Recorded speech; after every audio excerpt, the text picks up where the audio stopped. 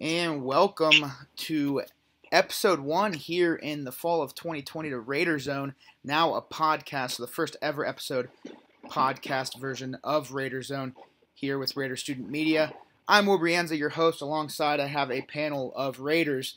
And guys, why don't we go ahead and introduce ourselves? Brendan, give us a little thing about you. Yeah, Brendan Deviney, uh, senior, kind of still hanging around. Glad, glad it's my last year. Riley. I'm Riley. I'm a junior, and I'm a sport business and marketing double major, and I like just talking sports with the boys. Ben. I'm Ben Johnson Bowers, an econ and uh, sport business double major, and I enjoy coaching. And Jacob. I'm Jacob Butar. I'm a freshman. I'm a sports business major, and I love everything and anything that has to do with the Cleveland Cavaliers. And so, just so you know, everybody, this is done virtually. Obviously, uh, a weird year we have going on here in 2020, and because of that, we cannot all be in the room at the same time. But we're going to make the most of what we can do, and we are going to have fun here on Microsoft Teams. That is granted access to us by the University of Mount Union, and that's how we're going to do our podcasts here on Raider Zone. So we're going to jump right into it for the NFL.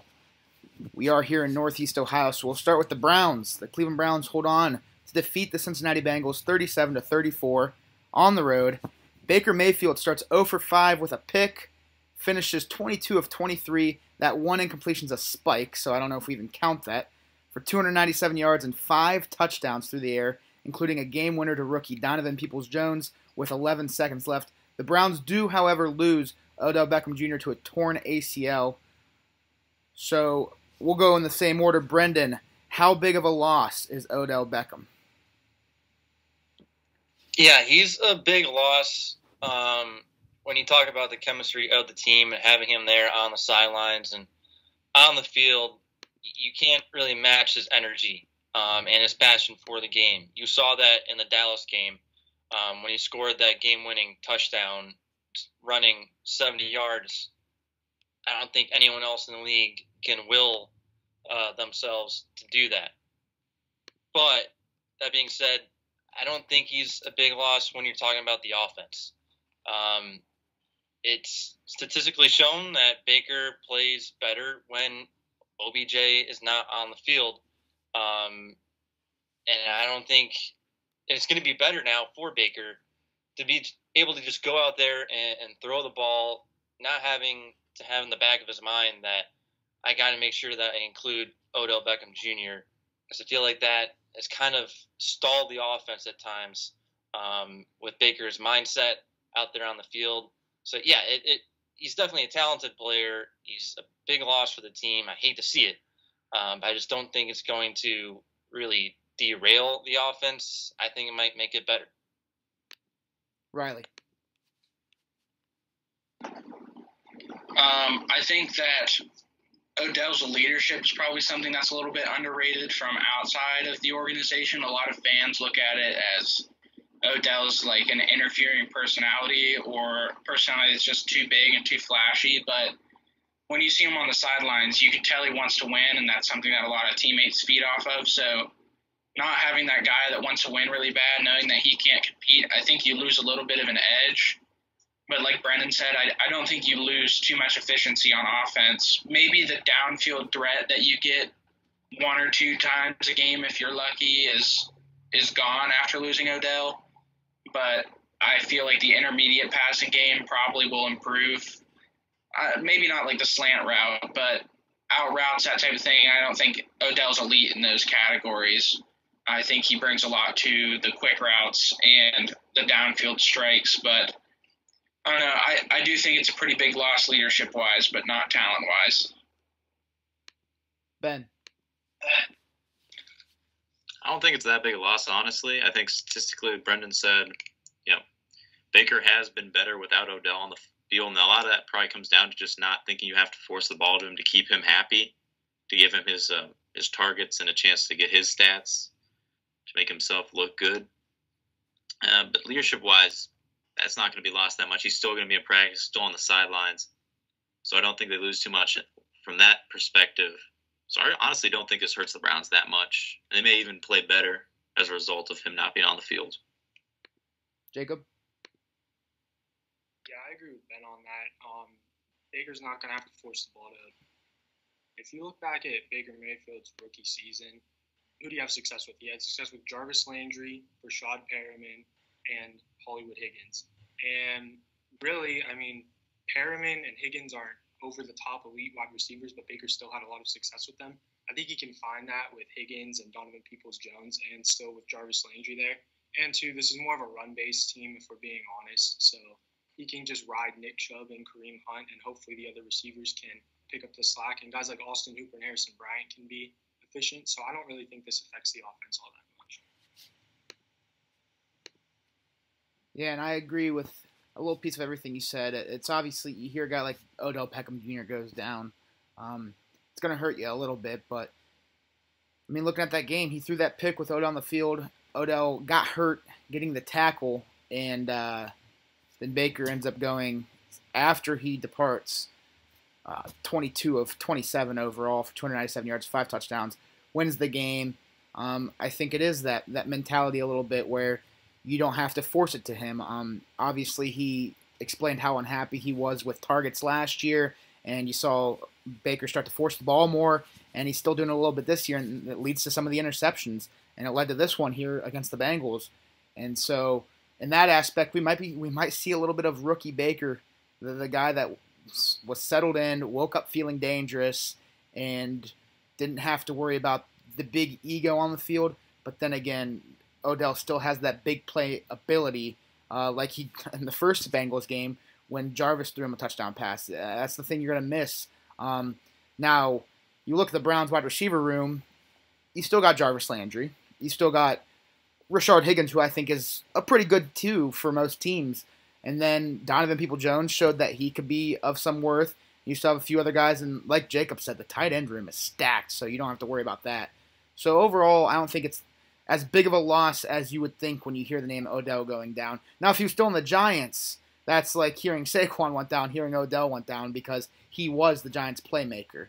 Um, so, continuing on with the Browns, what does this kind of comeback win? Not really comeback; it was a, a back and forth affair, I should say. But what kind of win? Uh, how what does this mean for Baker winning this game, pulling it off, and having the game he did? Jacob, we'll start with you.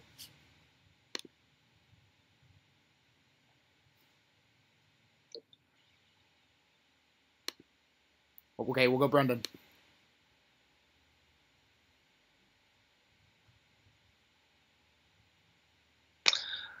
Yeah, um, I think for Baker, it, it gives him the confidence that he can remain in the pocket, be calm, and collect himself, and make the big time throws. Um, those two throws at the end of the ball game there um, to hit to Higgins and uh, Peoples Jones. Those were the two biggest throws that he's had this year. Um, maybe you throw in that one that he had to Beckham in the Cincinnati game at home, um, but it was all all year long. We've been talking about how Baker can't um, play in the fourth quarter.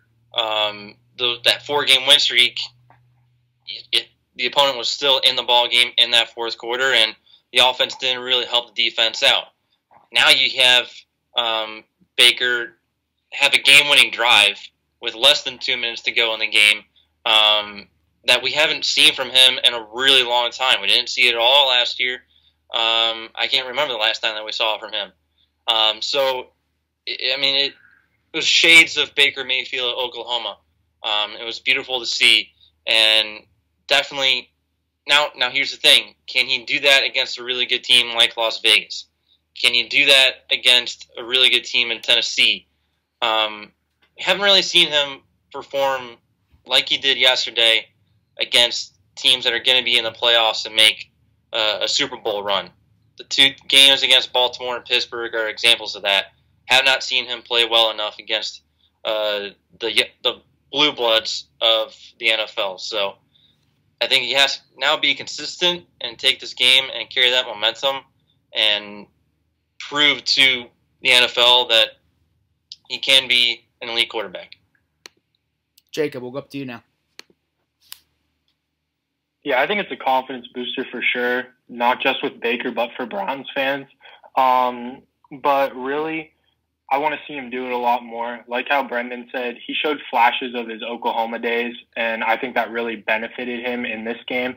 But can he keep it up? Because I don't know about you guys, but as a Browns fan, I'm very sick and tired of seeing all these different like progressive commercials he's on and getting all that fame before he's really proven himself. I feel so. Really, I think that he needs to keep building on this and like being way more consistent with it. If he has a good string of games like this, then I'll be fully sold on him. I'm still not fully sold at the sold at the moment, but definitely there is some promise after this performance. Ben.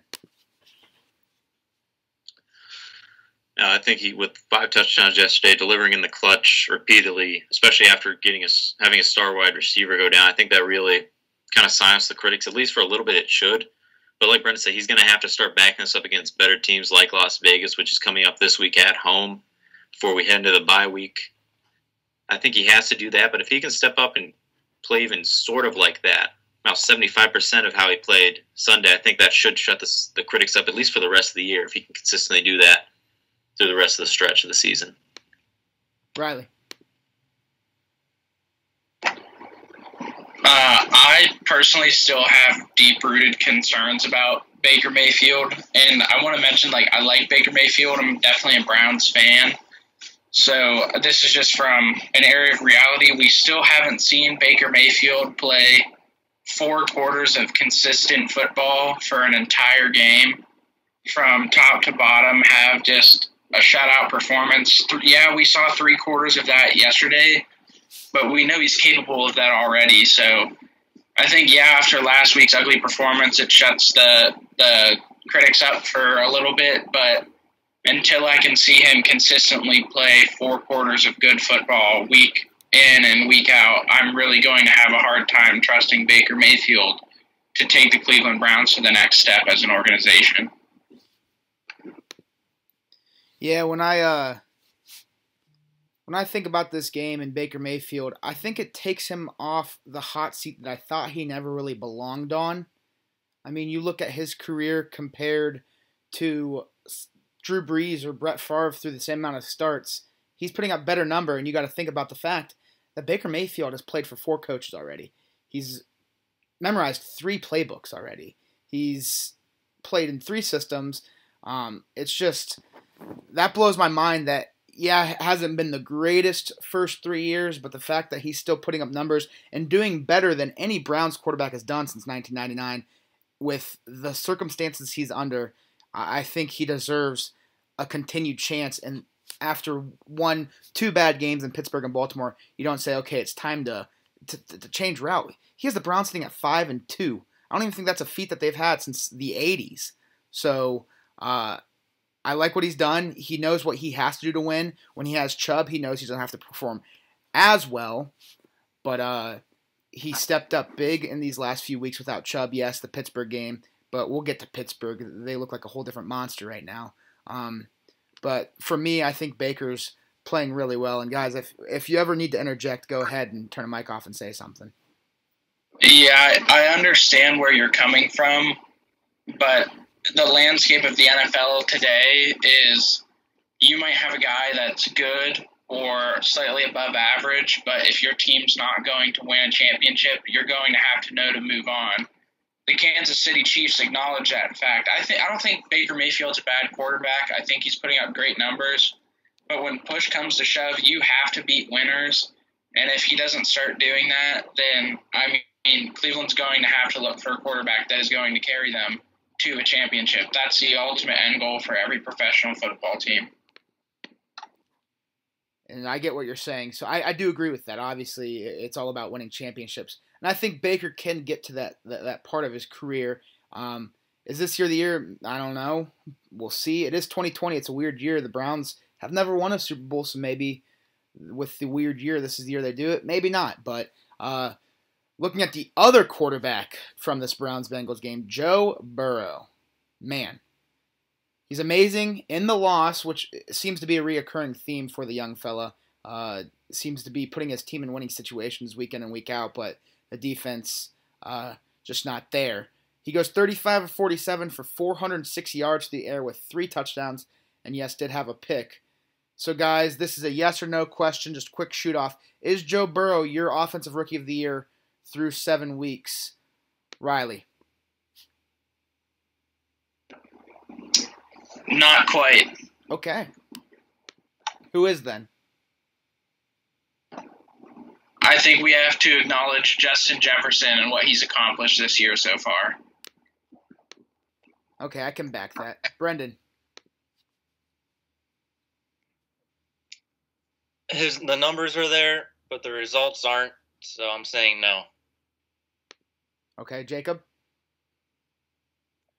I would say no. I think Justin Herbert desor- deserves more credit, so Justin Herbert's my pick right now. Wow, sleeper pick. Ben. Um, yeah, I mean, numbers wise, I think he is right now, but he's not getting the wins right now.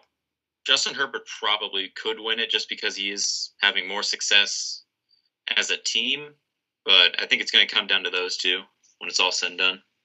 Now, I will note Joe Burrow, yes, one five and one, but Justin Herbert's two and four, and then Riley, on your point, Justin Jefferson's one and five. So really, if you look at it, a lot of these, I mean, but then again, a quarterback's supposed to have a better WAR than a wide receiver, so that's where your point comes in valid, Riley. But really, a lot of these rookies that are stepping up, that are in the discussion of that rookie of the year, none of their teams are performing very well. Um, I, I do think that Justin Herbert makes his football team a lot more competitive Yeah. than if he weren't on the field. I Like Justin Jefferson mm-hmm. isn't going to win Minnesota football games, but Justin Herbert, I will give him the fact that he is going to win the Chargers football games that they have no business winning to winning at points. Yeah, and I haven't picked right now mainly because Austin Ekeler, when he went down, I thought the Chargers were really done for on offense, but they're still moving the ball on offense, and I think it has a lot to do with Herbert. Yeah, he had a really good game last, uh, yesterday, I should say, not last week, but yesterday, and like the takes, guys. So let's move on to our next game that we highlight here. The Pittsburgh Steelers remain perfect as they defeat the who once was perfect Tennessee Titans, 27 to 24.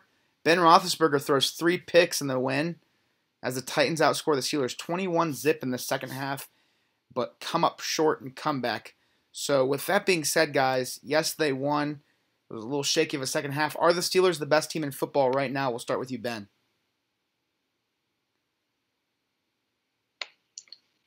Honestly, they might. Honest, I mean that pass rush for them is it's a very good pass rush. It's going to eat you up if you don't come out ready to play. And then offensively, they're humming. They've got a lot of different guys getting in on the action. And Big Ben's playing pretty darn well for a guy who's coming off an elbow surgery and has been in the league since 2004. So getting up there towards the end of his career. Yeah, I mean, I got to say, they're probably the best team in the league from a personnel standpoint right now. Riley? I do think that the Pittsburgh Steelers are the best team in the NFL right now. They certainly have the best defense, and defense definitely wins championships. If it doesn't matter how good an offense is, if your defense is able to stop them from scoring, uh, you're going to win just about every time. But what determines if the Steelers are ultimately the best team is what version of Ben Roethlisberger shows up on the field every Sunday. Um, I mean, he's going to have games where he doesn't play as well anymore because the athleticism is starting to decline a little bit. But he's also one of the most cerebral players on an on an NFL football field every Sunday. So, depending on what Ben Roethlisberger you get, Pittsburgh is the best team in the NFL. Okay. Brendan?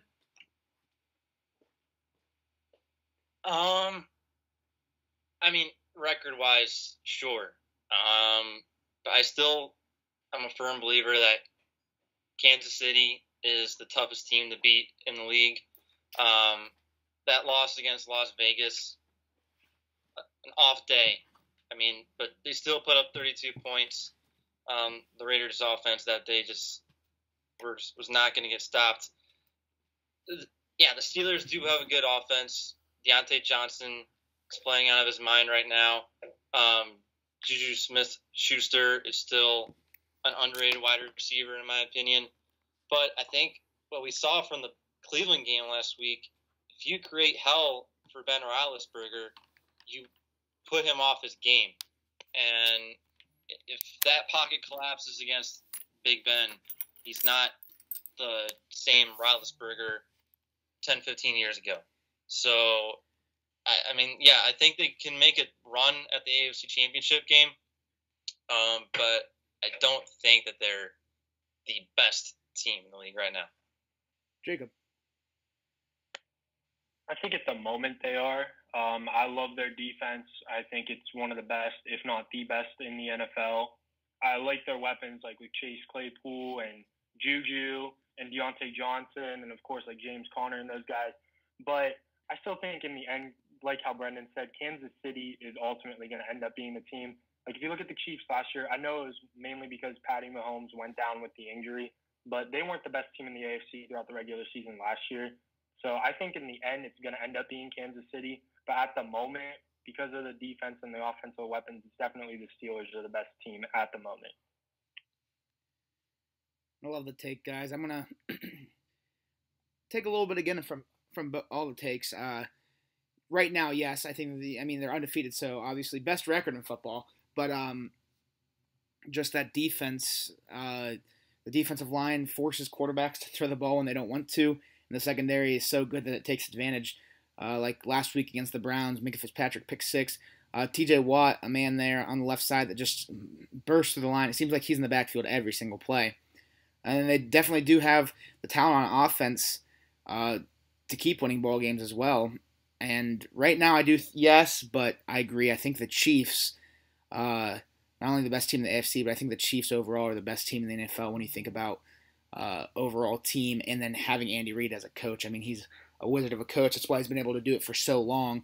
Finally gets a Super Bowl ring, and now he's running on confidence too. So um, right now, the Steelers are the best team, but ask me again in 10 weeks and we'll see what I say.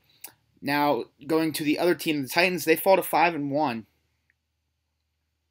Where do you have them ranked in football right now? Uh, top 10, top 5? Are they second behind the Steelers if you said the Steelers are the best? Riley, we'll start with you. Where do you have the Titans ranked right now in football? I think the Titans are definitely like a borderline top five team in football. I mean, they have a solid defense, they have a good pass rush. Jeffrey Simmons has come back and he's playing insane. So much so that they traded Jurrell Casey over the summer. He was a stalwart at the defensive end position and D tackle position for them. But Jeffrey Simmons playing great. Uh, they've also got who's their safety, Kevin Byard. He's one of the best safeties in the NFL. So I think on the defensive side of the ball, they're never going to let up more than 30 points. And then offensively, Ryan Tannehill and Derrick Henry. That's like the perfect complementary pairing in the backfield. A running back who's always going to get it done, and a quarterback who's always going to get it done. They might not post eye popping stats, but they're going to play well every week. And I mean, most weeks just are not going to end up as a loss for the Tennessee Titans. Ben. I think they got to be top five. If they aren't, they're top. They're six. Because Derrick Henry is, man, that's a big dude. I don't know if, you, how, if you've seen a picture. There's a picture of him. Like he's a massive dude. And just saying it doesn't really do him justice but he's a very strong, powerful runner. Ryan Tannehill's been dealing so far this year, so I think they got a good one-two punch. If you defend too much, load up against the run, they're going to hit you, kill you through the air. If you try and load up to defend the pass, they're going to just run it down your throat with Henry. So I think they're a very deadly team. Uh, they need to lose ultimately to win, but I think they're going to win a lot more games this year, and they should be a very dangerous team when the playoffs start in January. Jacob. So yeah, I actually ranked the teams in order of like what I think is the best right now. Um, I have the Steelers at one, the Chiefs at two, the Buccaneers at three, the Seahawks at four, and then the Titans at five. I think that with Derrick Henry, this offense is always going to have a guy that's just going to lead it in the best way possible. Ryan Tannehill surprising me with his play this year. I did not expect him to bounce back from the playoffs, or I should say, carry on what he had in the playoffs. Um, and that defense, like how Riley said, it, it's a really good defense. And I'm expecting the Titans to make another deep playoff run, maybe an AFC championship appearance, but they're definitely going to um, keep winning games. Brendan. Yeah, I think they're the sixth best team in the league right now. Um, Derrick Henry is is carrying the load right now and finishing where he left off last year. That Buffalo game, Ryan Tannehill just made throws that I hadn't seen from him in a long time. Um, he was really putting the team on his shoulders that night. But you look at the teams that they've played, I'm not really sold on them being able to be a Super Bowl team right now. I mean, they crushed, well, not didn't crush, but let Houston be in the game the whole game. Um, Denver was a close win. Jacksonville was a close win, and so was Minnesota. And then they lose to what we've been debating is the best team in the league in Pittsburgh right now. So, not, I mean, the only convincing win right now is Buffalo. Um, so not totally sold on Tennessee. Um, they got to beat the best to be the best, and right now they're barely beating sub 500 teams. So. Yeah, and I thought the same thing as you, Brendan. When I when I was looking at Tennessee Titans, I was like, okay, they barely beat the Vikings. They, they barely beat this team. They barely beat that the Jacksonville, Houston. Like you're right, but it might might be the same case as Cleveland, but, where they got good offense, but their yeah. defense but an average team, and I thought maybe last year the playoff run was like a little bit of like just running on adrenaline, but you don't do that to a Buffalo team unless you're a top five team. Um, I would say they're they're four or five in my rankings. I mean, Buffalo's defense was rated second in the NFL coming into the season behind Pittsburgh, and he, they totally shredded that defense.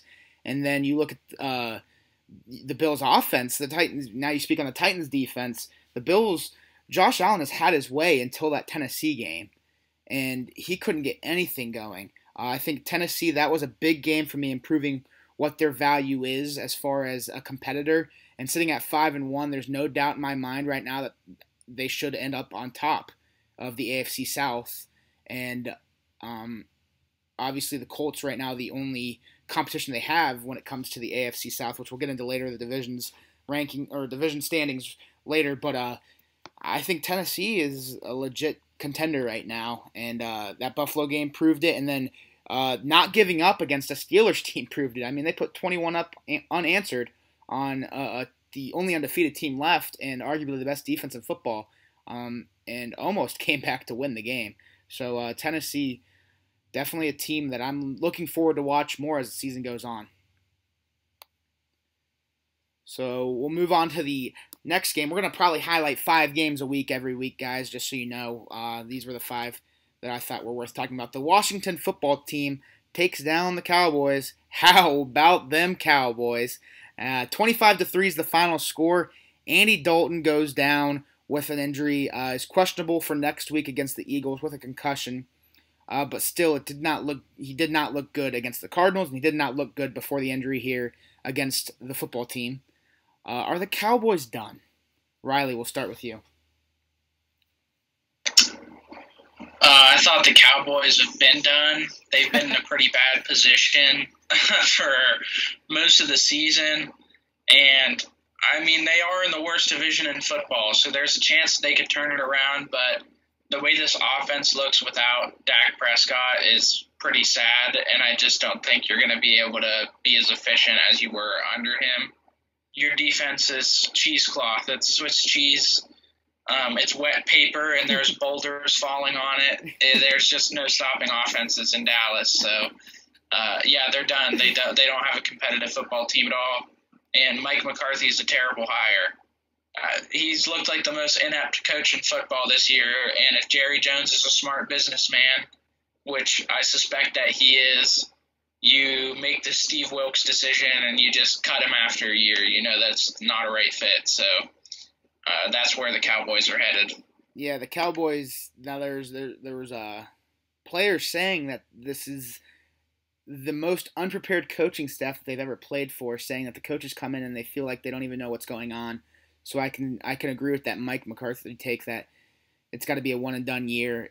I mean, what have you been? He claimed all the stuff that he was doing with his time off since being let go from the Packers, and none of it is relaying over to his second chance here in Dallas. And Riley, I'm going to stick it with I'm going to stick to you as well. Is there a quarterback that the Dallas Cowboys could try to go out and get that could help turn things around? I have been looking at some backup scenarios in the NFL. I don't think that the Cowboys are going to actively seek uh, a quarterback that can really win them football games because at this point they are going to have a good draft pick. And if they decide that Dak isn't where they want to go, especially after his injury, they can draft someone or they can trade for assets, which is a huge deal. So I'm looking at established veteran backups. I like Colt McCoy. He's with the Giants right now. I think he could probably be had for a very late round pick. And then any combination of the 49ers backups, whether it's Nick Mullens or CJ Beathard, those guys are both going to be established veterans that you can plug and play and at least remain somewhat watchable for your fans. All right, we'll go to Jacob. Same thing. Are the Cowboys done? And if it's a quarterback, who do you think they could reach out and get to fill that void?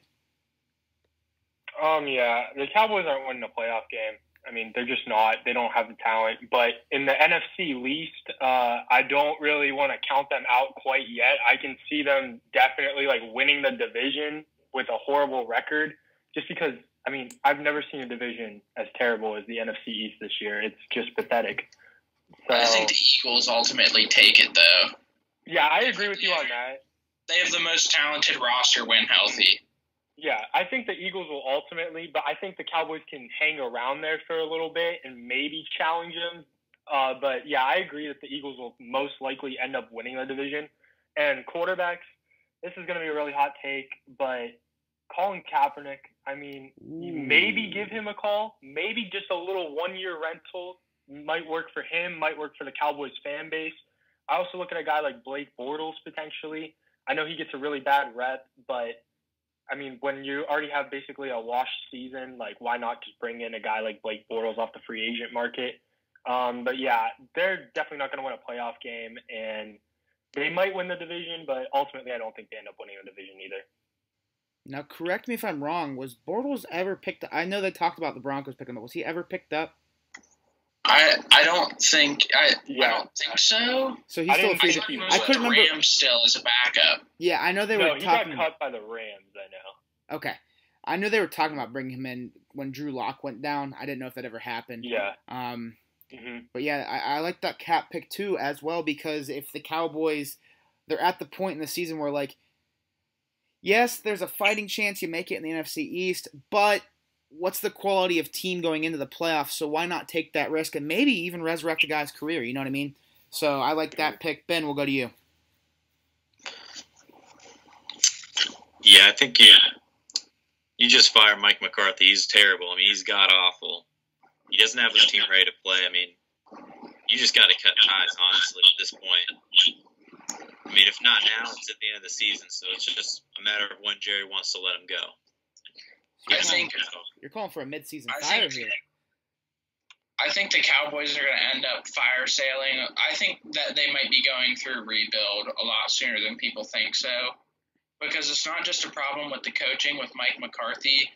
When you're starting safety that you took in the the, fir- the second round, I believe, a few years ago, or like at the end of the first a few years ago, says it's impossible to go 100% every play, and former NFL players are saying this guy's a chump it's like problems with your roster and with your coaching staff. So Dallas is going to have to uh, start trading people and cutting people and getting rid of bad contracts, and then they're going to have a new coaching staff without their quarterback.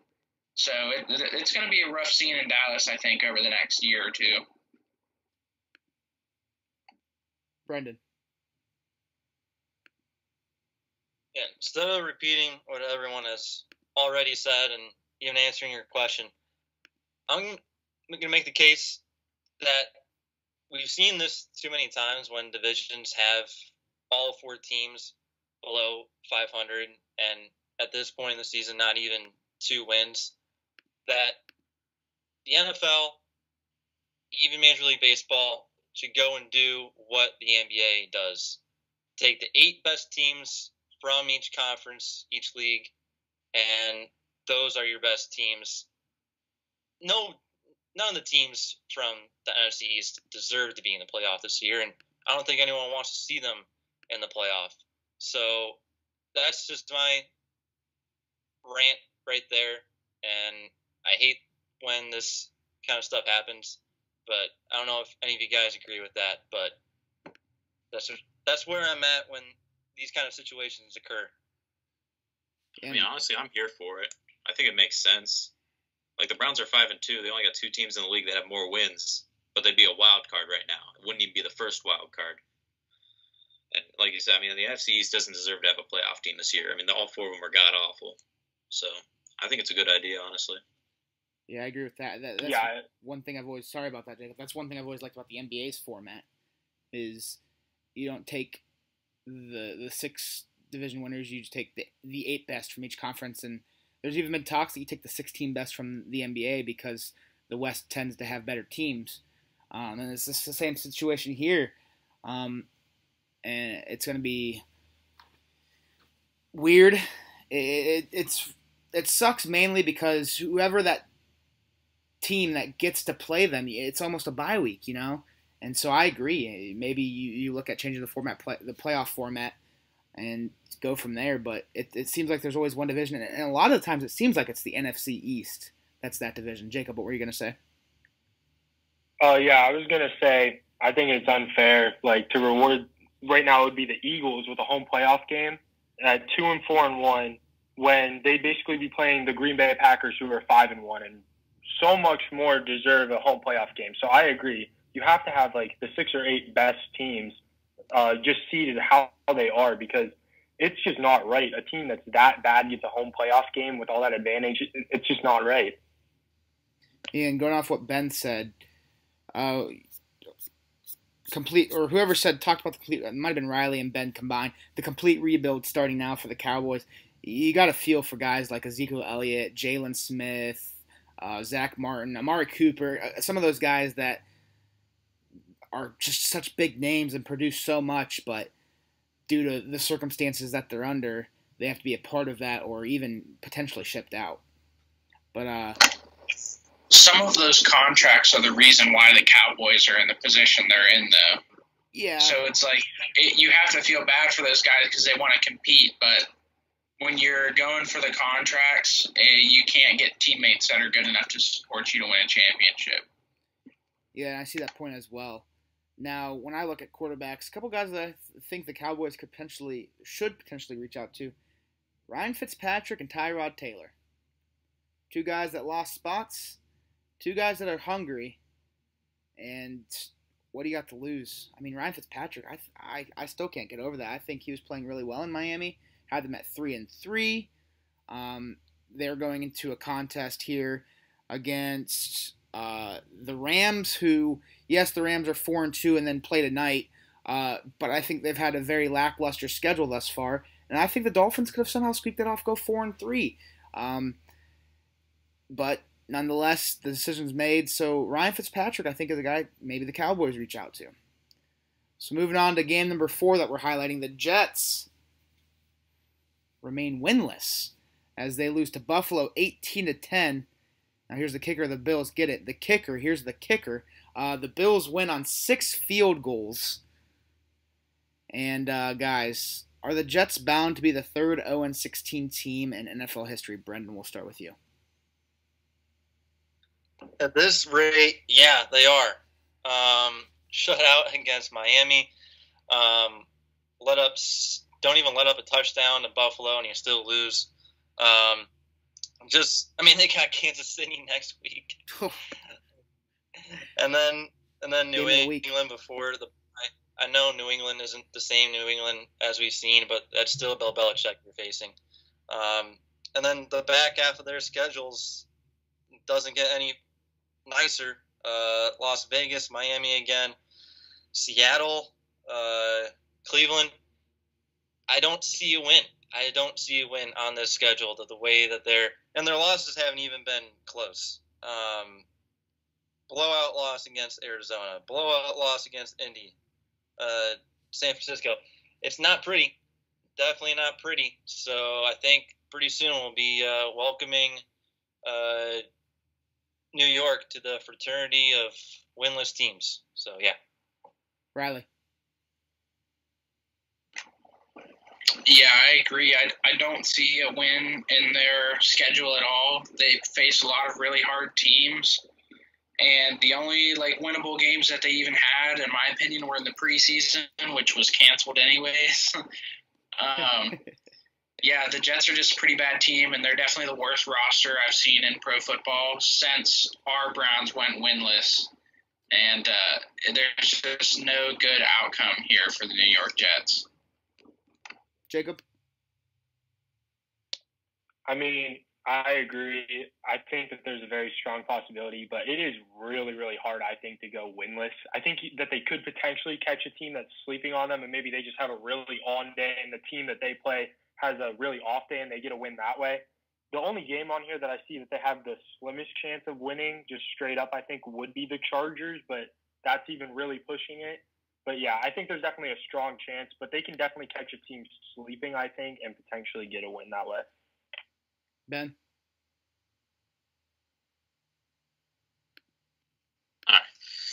Uh, yeah, I think they go on 16. I mean, looking at ESPN's power index, the lowest percent chance that a team has remaining on their schedule to beat them is 67, and that's Las Vegas.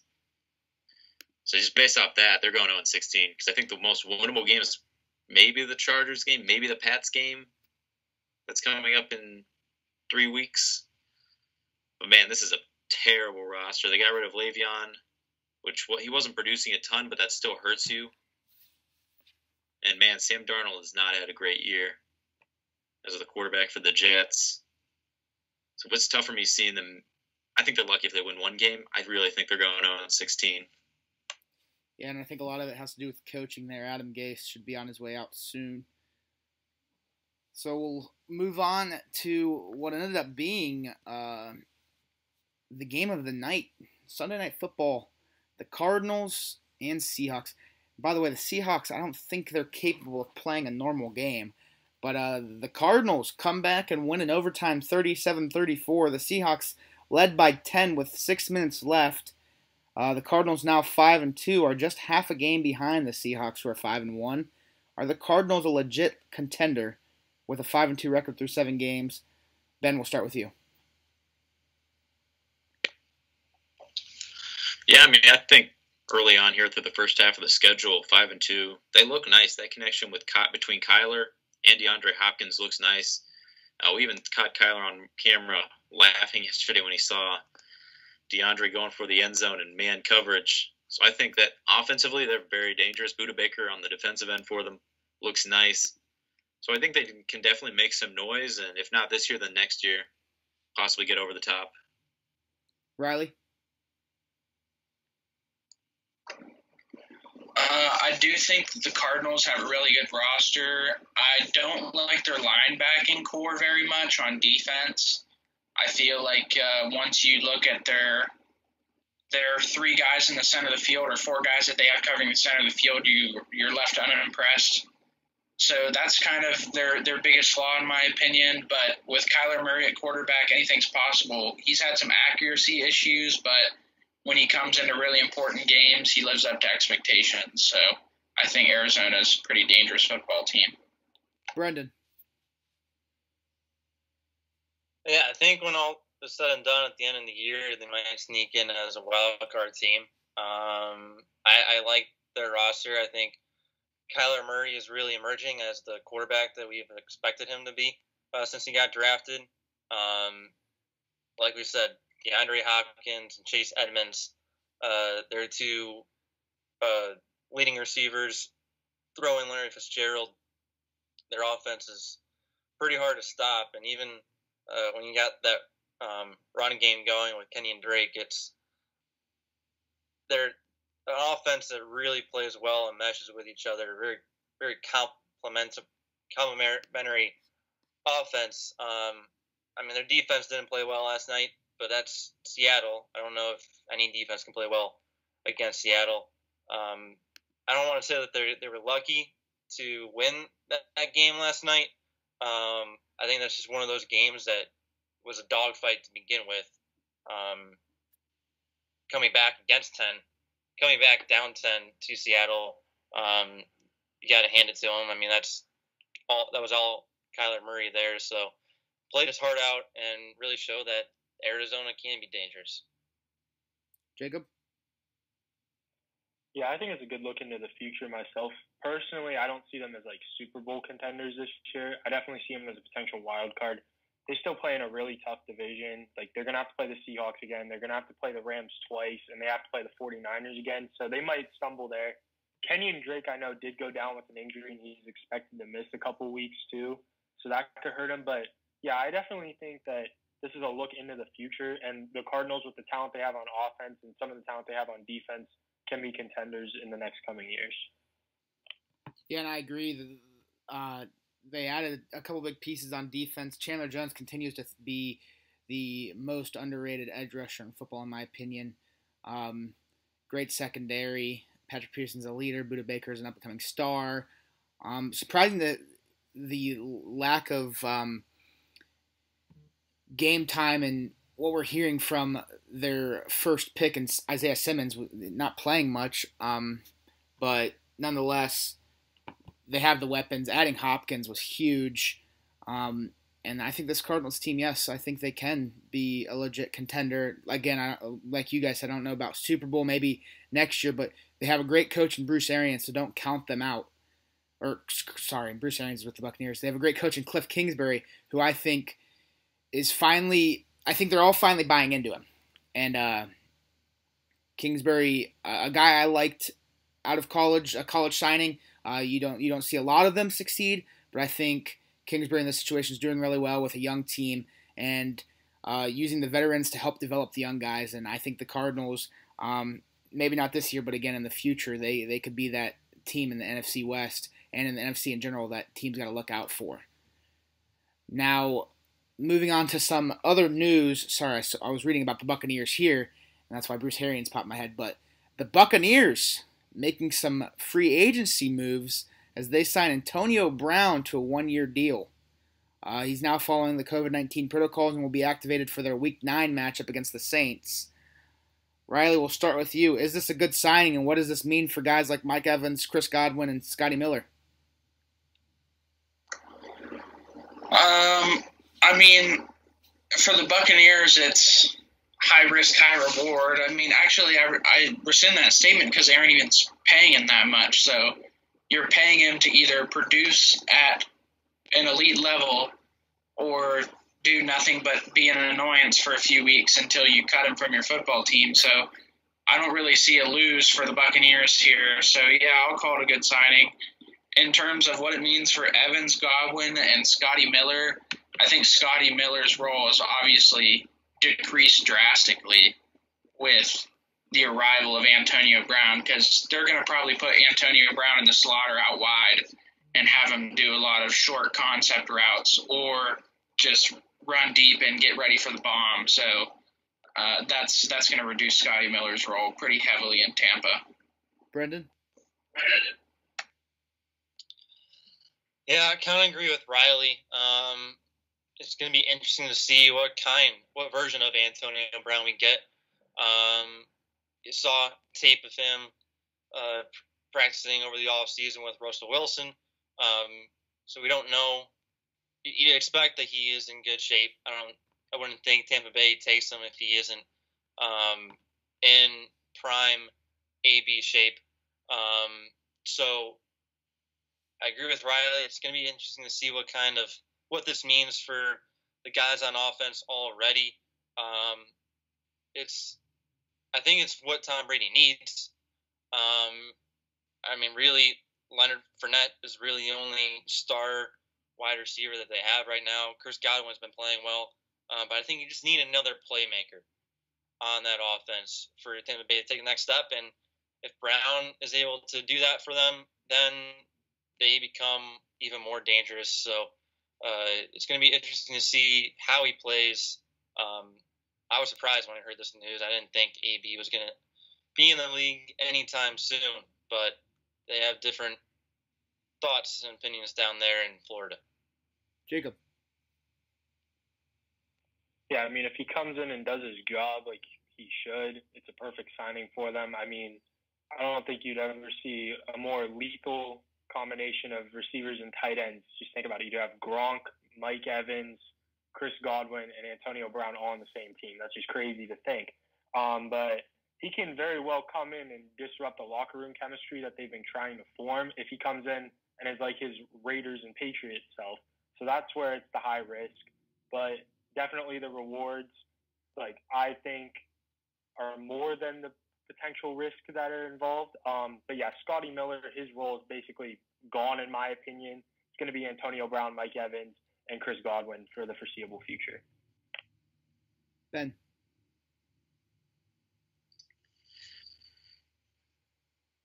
I like this signing. I really do. I think there's some good chemistry between Tom Brady and Antonio Brown. Obviously, it's going to hurt Miller. His role is going to be greatly diminished now that AB is coming into town.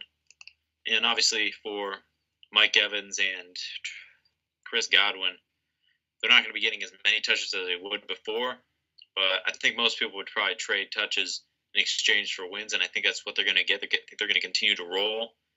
And it's easy to forget how dominant Antonio Brown was before his mental health and off the field antics kind of derailed him for for a season or so. But this is a very dominant receiver. Tom Brady reportedly was once told to stop throwing to him in Patriots practice because he was so dominant going deep. So I think this is going to work out really well for him. Yeah, I think uh, it's the same thing you guys said. He, he's obviously going to be a liability, um, but the, potential for greatness is there. Um, I think this hurts Tom Brady more than anything, because you talk about that legacy. Does he need Belichick to win? But now he moves to Tampa Bay, where there was already a lot of pieces, and he's they're adding more, and it kind of makes you feel like Brady, can you do it on your own? Um, but and also going back to what I already said, this Arians a great coach. Um, I I don't know. I don't know if this is helping Brady's legacy. Obviously, he'll always be in the goat talk when you have that many rings. I mean, they don't even fit on one hand, but the help is definitely there. And if he was heading Tampa Bay to prove that he doesn't need help, I don't think he's doing a very good job at it. But it also, I agree, Miller's position's kind of gone, and Evans and Godwin, the guys who we haven't seen put up the big numbers per usual, just because of the amount of weapons that are down there. Now they're adding another one. I think this hurts their numbers as well. Um, but then again, it, it, could help the team get over that hump to win the Super Bowl. So now moving on, Cam Newton gets benched and the Patriots lost after three picks. He gets benched for Jarrett Stidham. Patriots now under 500 through six games for the first time since before Tom Brady, um, which I believe is before a couple of us were even born. So um, that's how long it's been um, since they sat below 500 through six games. Guys, is Cam's job in jeopardy, and should the Patriots be in panic mode? Jacob, we'll start with you. Um, I would say the Patriots should be in panic mode. They're definitely not going to win their division. I don't think. I think it's the Bills' division to lose. Um, but yeah, I think that Cam's job is kind of in jeopardy. But if you look at who's behind him, that's why I don't think it's fully in jeopardy yet. Stidham came in after Cam, and he didn't really do anything after Cam was benched anyway. And I don't really know about Brian Hoyer either. So right now, I would say Cam's job is slightly in jeopardy, but I wouldn't really overly worry if I'm Cam Newton just because Stidham and Hoyer, I don't know if they can do much of a better job. Brendan. You know, I mean, Belichick even came out yesterday and said that he still plans on starting Newton the rest of the way. Um, and probably because what Jacob said, they don't have um, good enough starting, I mean, backup quarterbacks to go in there and do the job that Belichick wants them to do. Stidham and Hoyer, um, you saw both of them, in that uh, Kansas City game when Newton had to quarantine that week. Um, they didn't. I mean, they that game was right there for New England's taking, and they still couldn't get the job done. Um, I think New England is in New England is in a really weird place right now. Um, I mean, New, Newton yesterday nine for fifteen. When you have Cam Newton only throwing fifteen times uh, a game and not being able to get in the end zone, that's not you, you can't have that be the case with the Patriots. They're just in a weird spot right now where I don't think the offense is gelling. Um, Belichick's offense is not the way that Newton plays. Um, I don't think. I think we're going to see down the line here this season that that matchup is just not a good fit. Belichick and Newton. Ben.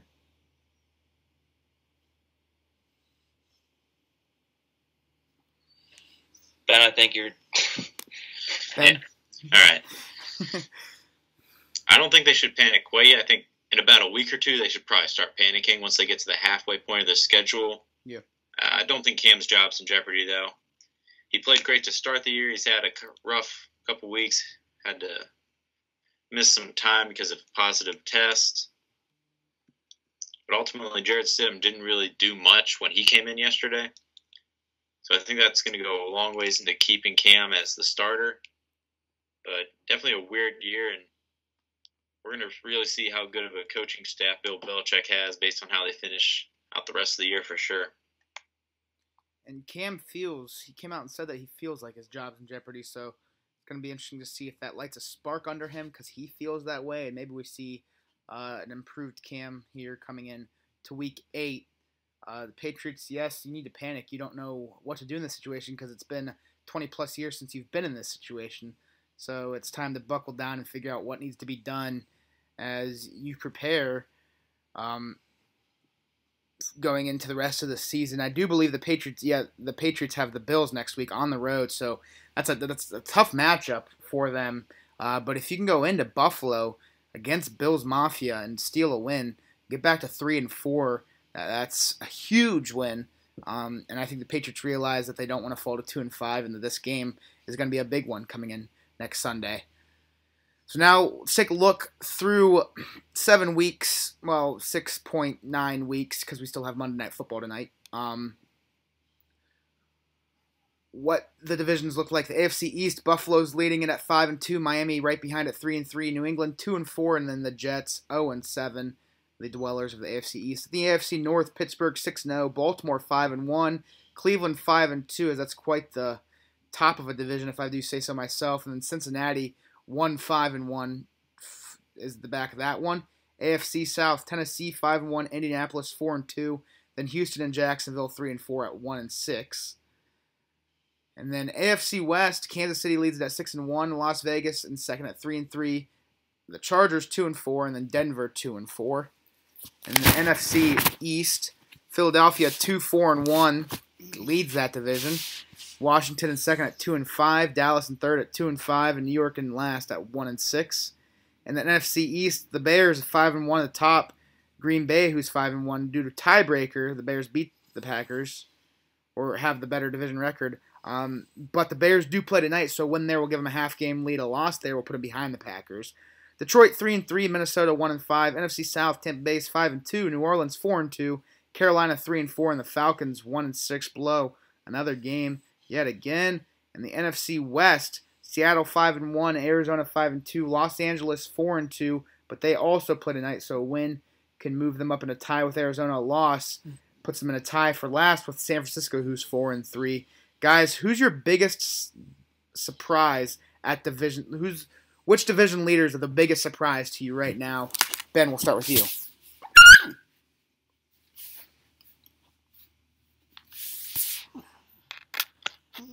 All right.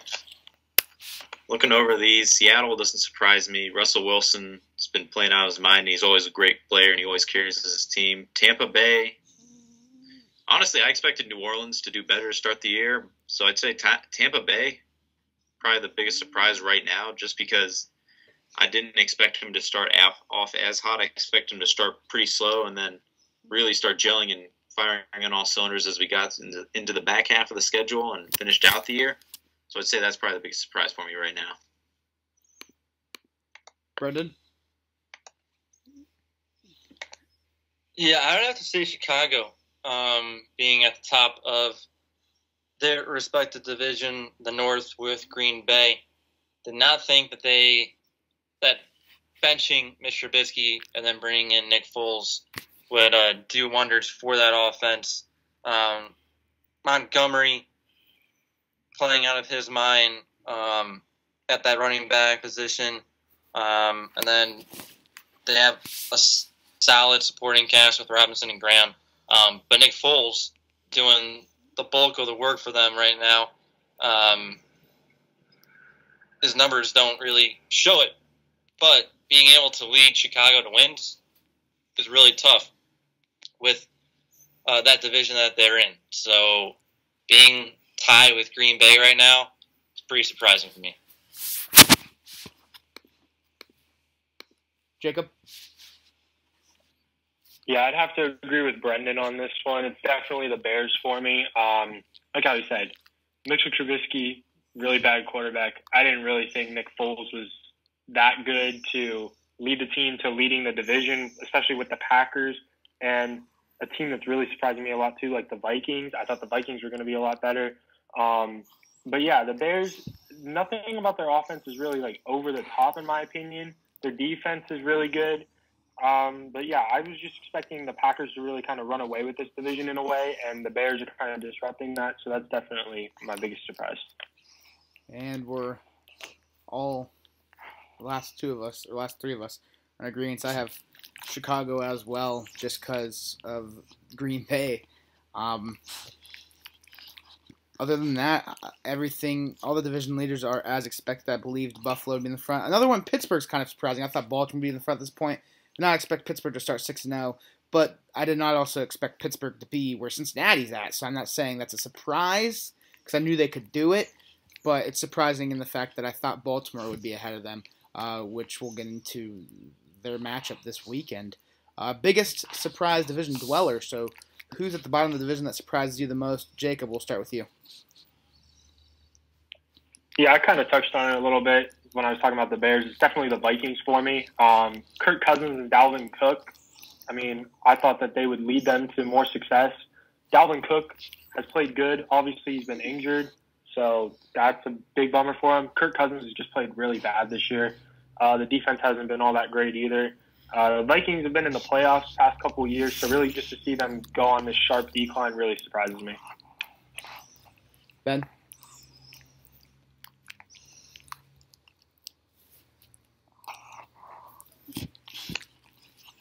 Yeah, I'll agree with Minnesota. I think when you look at that roster coming into the year, at least offensively, they should have been able got Justin Jefferson in the draft. In the draft, uh, they should have been able to do more, and they should be winning more than they are. So it's definitely surprising to see them fall so quickly into the cellar of the of the NFC North. Brendan,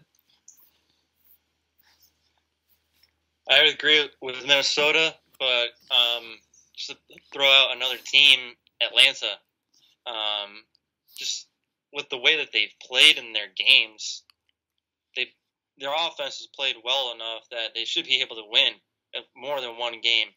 With their lineup that they have, Calvin Ridley, Julia, Julio Jones, Todd Gurley, um, I don't know how they're one and five.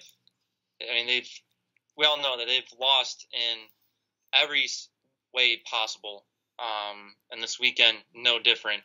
Um, I mean, their offense just not does not come out to be a one and five team. So can't believe that they've uh, they're at the bottom of their division. I wrote down two. I agree with you, Brendan. With Atlanta, they really surprised me being one and like maybe not surprising that they're in last. I thought Carolina would finish fourth, but Teddy Bridgewater really showing out. Has them a three and four record, but I thought Atlanta would be around the same record as Carolina, if not like a game better at this point. Uh, but another one I had was Houston. Uh, yes, they're considered third place because of the tie-breaking win over Jacksonville.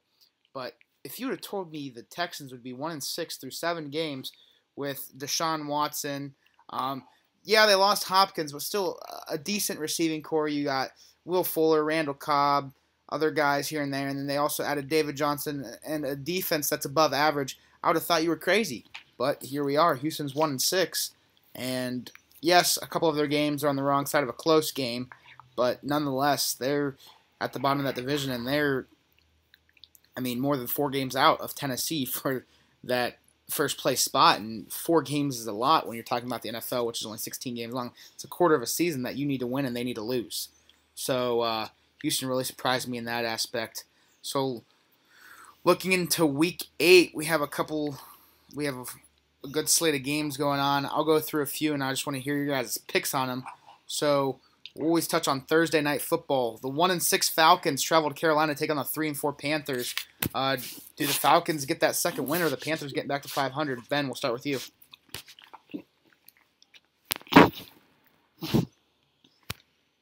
I'm gonna take the Panthers. I think they're a better team this year. Certainly luckier. I mean, the Falcons couldn't even fall correctly before the goal line. They couldn't even get that to go their way. That was pretty funny to see the Lions players celebrating a Todd Gurley touchdown when he failed to fall before the goal line so they could continue to run the clock. But I just think I just think Carolina's rolling better this year. I think they're going to get the win in prime time. Brendan? Um, gonna be a tough game, but I'm I'm going with Atlanta. I don't see them going one and seven. Uh, I think they can get that second win. Jacob. I mean, I really want to pick Atlanta, but I agree with Ben. I've just never seen an unluckier football team in my life. I'm going to pick the Panthers here just because of Teddy Bridgewater's good play and just because Atlanta has terrible luck. And I'm going to go Panthers in this one as well because CMC practiced today, so if he's back, they're going to be even harder to beat. And uh, the Falcons just are going to find a way to lose. Uh, new coach now that they Fired Dan Quinn a couple weeks ago, so still struggling that aspect. Next one, Raiders Browns. Raiders coming in at three and three. Browns coming in at five and two. The Browns will be the host of this one. Jacob, we'll start with you. Do the Browns go into the bye week at six and two, or do the Raiders get back over five hundred? Uh, I think the Browns do go in at six and two to the bye week. Um, I definitely think it's going to be a pretty big battle. I think it's going to be a really close game. But in the end, I think that Baker actually is going to have another good game throwing to his little targets like Harrison Bryant. Hopefully, Austin Hooper will be back. I want to see how he does with Jarvis and Donovan Peoples Jones and guys like that. But I definitely think the Browns are going to beat the Raiders this week. Brendan. I'll go with Cleveland. Um, probably going to be a high scoring game with uh, the way that the Browns defense has played. Maybe this is one of their games where they force three or four turnovers that they've uh, done before. Um, but yeah, I think Baker continues that uh, momentum from this past Sunday, and um, they go six and two into the bye week, which is probably their best record going into the bye week in our lifetime. So, Ben.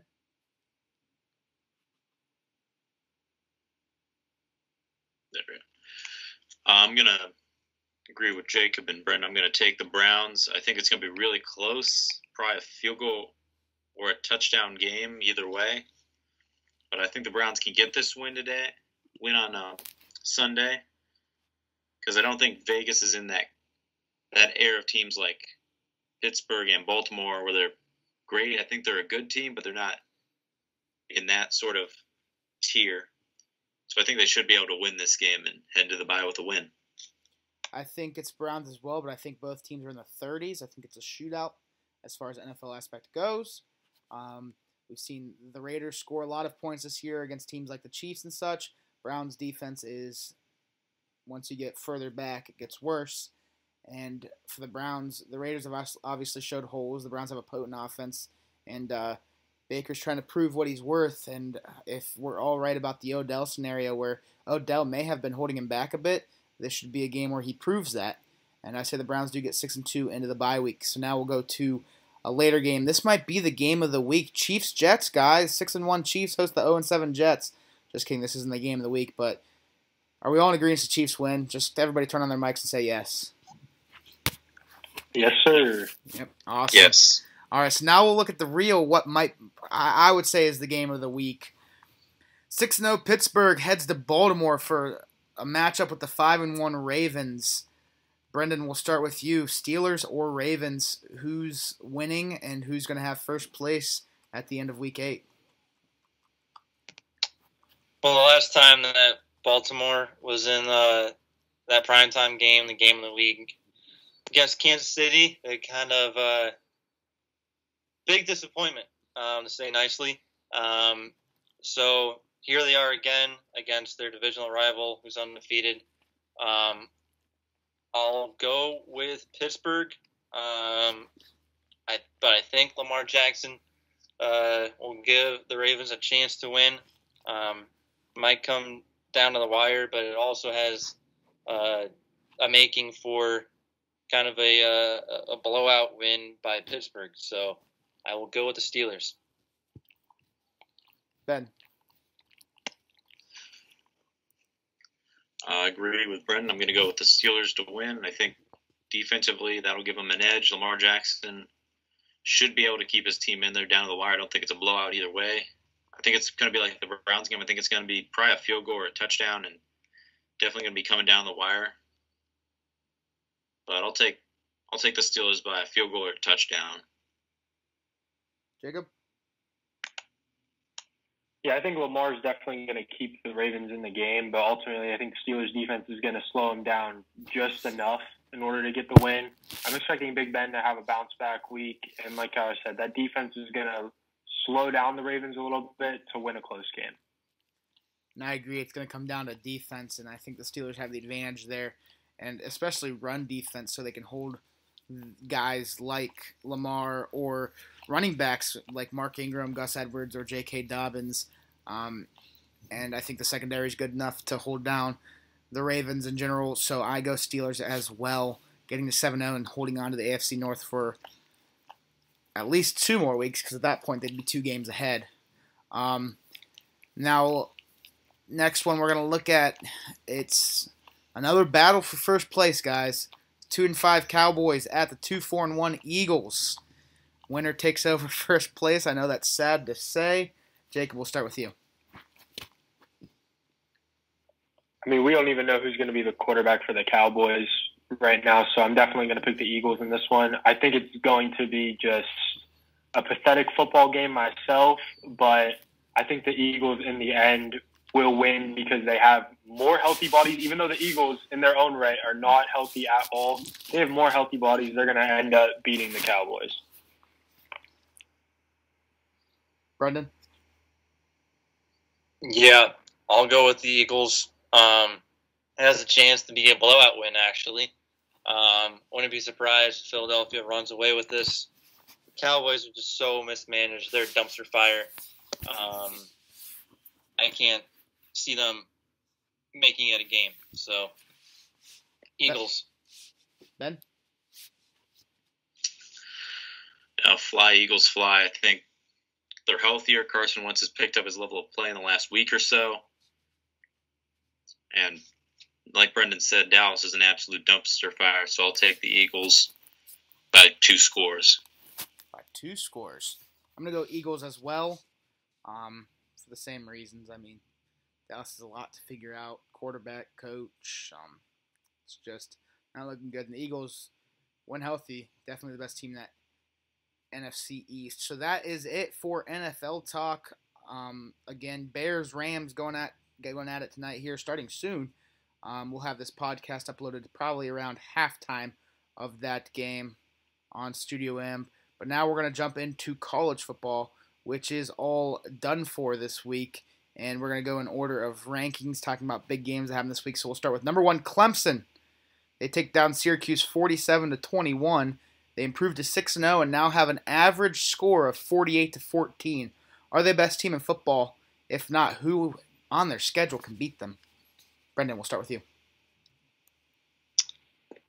Yeah, they're definitely the best team in football right now. Um, Trevor Lawrence is playing out of his mind. Um, Dabo Swinney has that offense firing, firing on all cylinders. Surprised they only put up 47 against uh, Syracuse.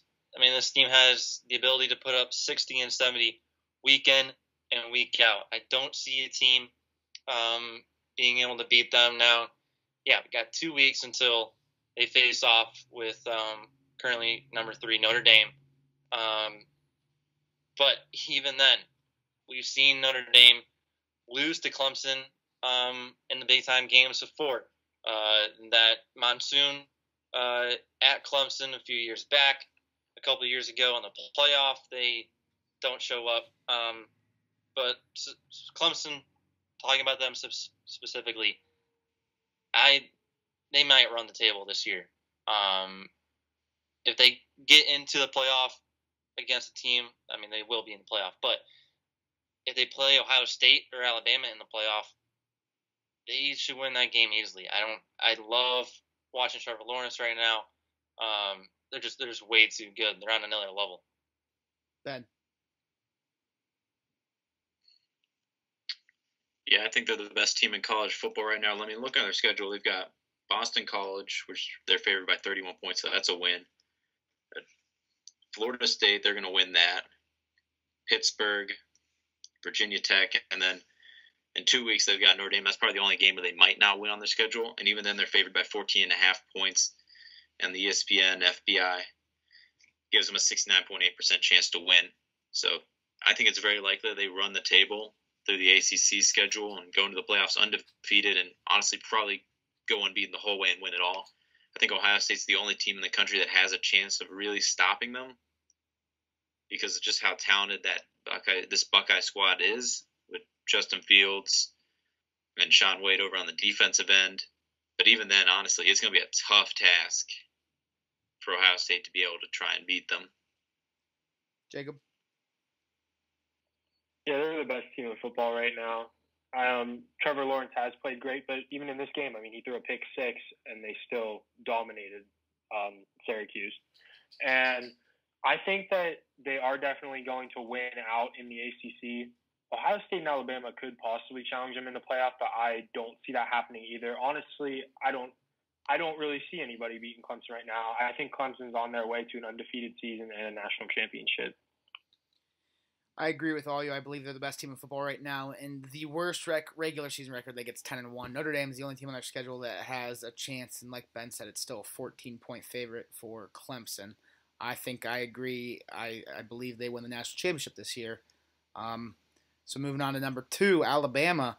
They defeat Tennessee 48 to 17, but they also lose Jaylen Waddle for the season with an ankle injury. They are now 5 0. But how big of a loss is Jaylen Waddle? Jacob.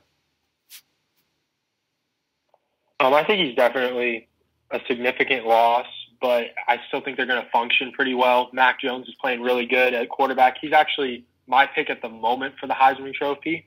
Um, and he still has weapons with him, like Najee Harris and DeVonta Smith.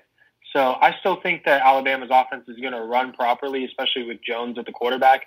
But Waddle definitely is a significant loss for the team. Brendan? Yeah, I mean he's a big loss. He's he was playing really well up until um, game against Tennessee. But I agree with uh, Jacob. I like Mac Jones. Uh, John Metchie, uh, Michi, I think that's how you say. He's been, um, I mean, he'll fill that role nicely. Um, they've got it pretty easy the rest of the way. Uh, Mississippi State, LSU, uh, Kentucky, Auburn, Arkansas. They'll run the table, I think, easily. Um, but it's definitely definitely sucks for them. Waddle was playing really well to, enough to get a uh, first round pick uh, next year. So I don't think it really deteriorates their offense though. Ben. I think it'll be a loss for him, but I don't think it's going to hurt him that bad. I mean, it's Alabama. They're talented. They're well coached, and Mac Jones has been dealing under center for them.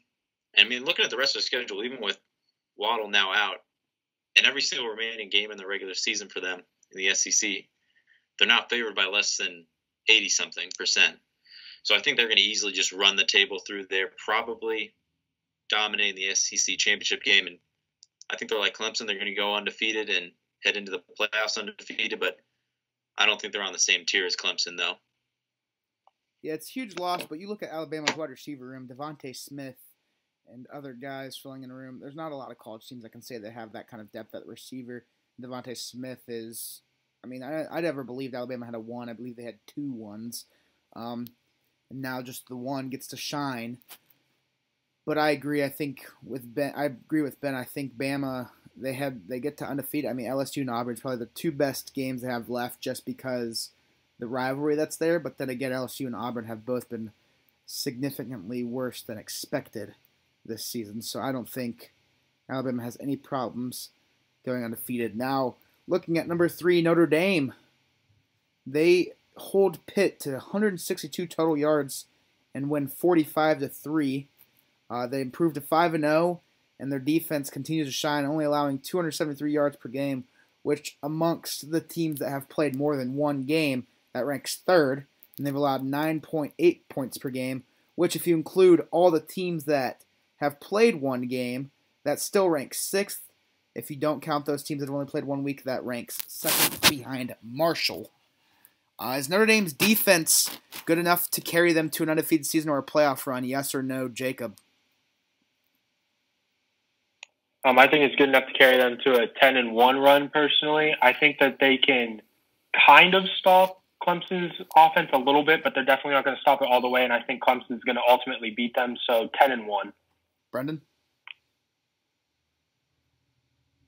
Yeah, and they've been playing really good um, right now to this point. I mean, they were the only reason that they beat Louisville because uh, Ian Book decided not to show up against Louisville. Um, but you look at their defensive line, Daelin Hayes, Amoza Tagovailoa, um, Ogundeji. Um, if they can put pressure against Trevor Lawrence when they do play Clemson, um, that that will be really important. Their secondary of McCloud, Hamilton, um, Tariq Bracy, um, they're pretty special. Um, Houston Griffith, Shaun Crawford as well. Um, and they're, that's they're going to be the only reason that Notre Dame has a chance against Clemson. Um, they really have to show up on that day um, when we talk about that game later on, but in the coming weeks. But I mean, playoff run maybe, but we'll see when they play Clemson. But their defense is special enough. Ben. Uh, I think defensively they're really good. Um, Ian Book, if he decides to show up that week, he can be really good for them offensively. Uh, I think they go ten and two through the regular season. The ACC title game, I think they're going to lose to Clemson in the regular season, and they're going to lose to Clemson again in the ACC championship game. It might be good enough to carry them into the four seed in the playoffs, but they're going to go one and done almost certainly. So probably ten and three overall on the year, which isn't terrible. I think if they lose twice, they they're not in the playoffs, but it's going to be weird to see because a lot of a lot of these conferences are beating up on each other. So uh, maybe it does. Um, moving on to number five, Ohio State. They start their season with a huge win over Nebraska, 52 to 17. Justin Fields is near perfect, going 20 of 21 for 276 yards and two touchdowns, while adding 54 yards and a touchdown on the ground as well. Guys, is Justin Fields the best quarterback in football, or is it Trevor Lawrence? And who of the remaining seven games on their regular season schedule can beat Ohio State? Ben, we'll start with you. Uh, I think it's close between him and Trevor Lawrence. I mean, as an OSU fan, I want to say Justin Fields, but I know, like deep down, I think Trevor Lawrence is a little bit better. I think it's just a little bit. I think it's pretty close, though. I don't, I don't think the gap between those two is as big as you might think. I think it's pretty close. Pretty close. They're both going to be top draft picks. I think Lawrence is probably going to go number one because he's slightly better. But I mean, looking over the Buckeyes' remaining schedule here, they got Penn State next week. Penn State got upset by Indiana. I don't think Buckeyes are going to have much trouble there. They're going to win by probably two scores. Rutgers shocked Michigan State, but Michigan State's not good. Uh, their first year under a new head coach. Buckeyes are going to win by a couple scores. Maryland is bad. That's a couple score win. Indiana might be able to push us. They have been able to push us in the last couple years when we've played for at least a little bit, but they're still going to probably win by two scores, two or three scores when it's all said and done. Probably three. Illinois, they're going to win by four or five touchdowns. Michigan State, that's a five touchdown win. And then Michigan, Michigan might be the one team that can beat Ohio State in the regular season in the Big Ten. Uh, they dominated Minnesota over the weekend to open their season up strong. So I think Michigan is probably the only team that can beat Ohio State. And even then, ESPN gives the Buckeyes an 87% chance to win that game. So we'll see how Michigan's doing when we finally get to that game on December 12th. But I think the Buckeyes are probably going unbeaten.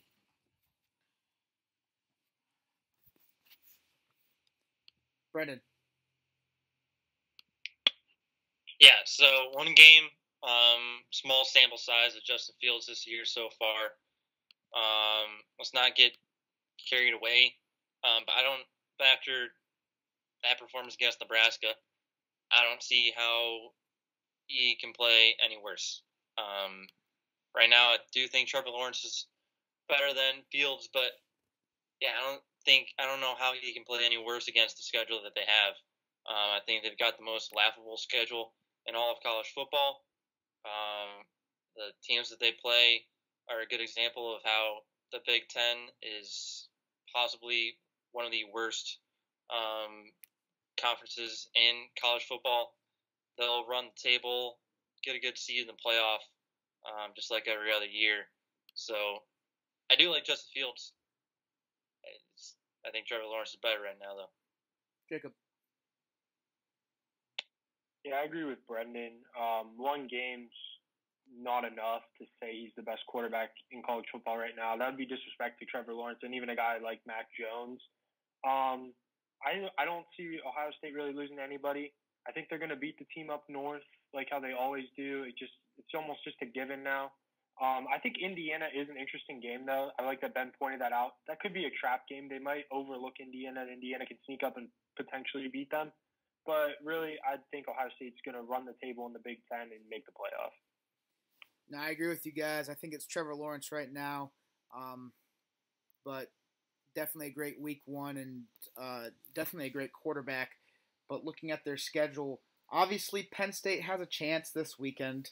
Uh, that could have been a fluke game against Indiana, and the fact that Penn State is home. I mean, playing in that stadium's never easy. Um, but I still think Ohio State will end up getting it. Um, this year, there's no fans. It's isn't it, no in Pennsylvania. I'm pretty sure they have like smaller section. Like they're allowed to have some fans. It's not the same. It's not a sold out whiteout. Yeah, but I mean, it's gonna it's it's hostile territory. I mean, Penn State's gonna they're find a way. That, they're not winning that game. Penn They're State's not. gonna find a way to make that environment in their favor. Because that's What environment? like this through sound and video, Brendan. It's gonna be like five thousand fans there. Oh Let's- yeah, that, calm that down. pumped in crowd noise will affect Justin Fields.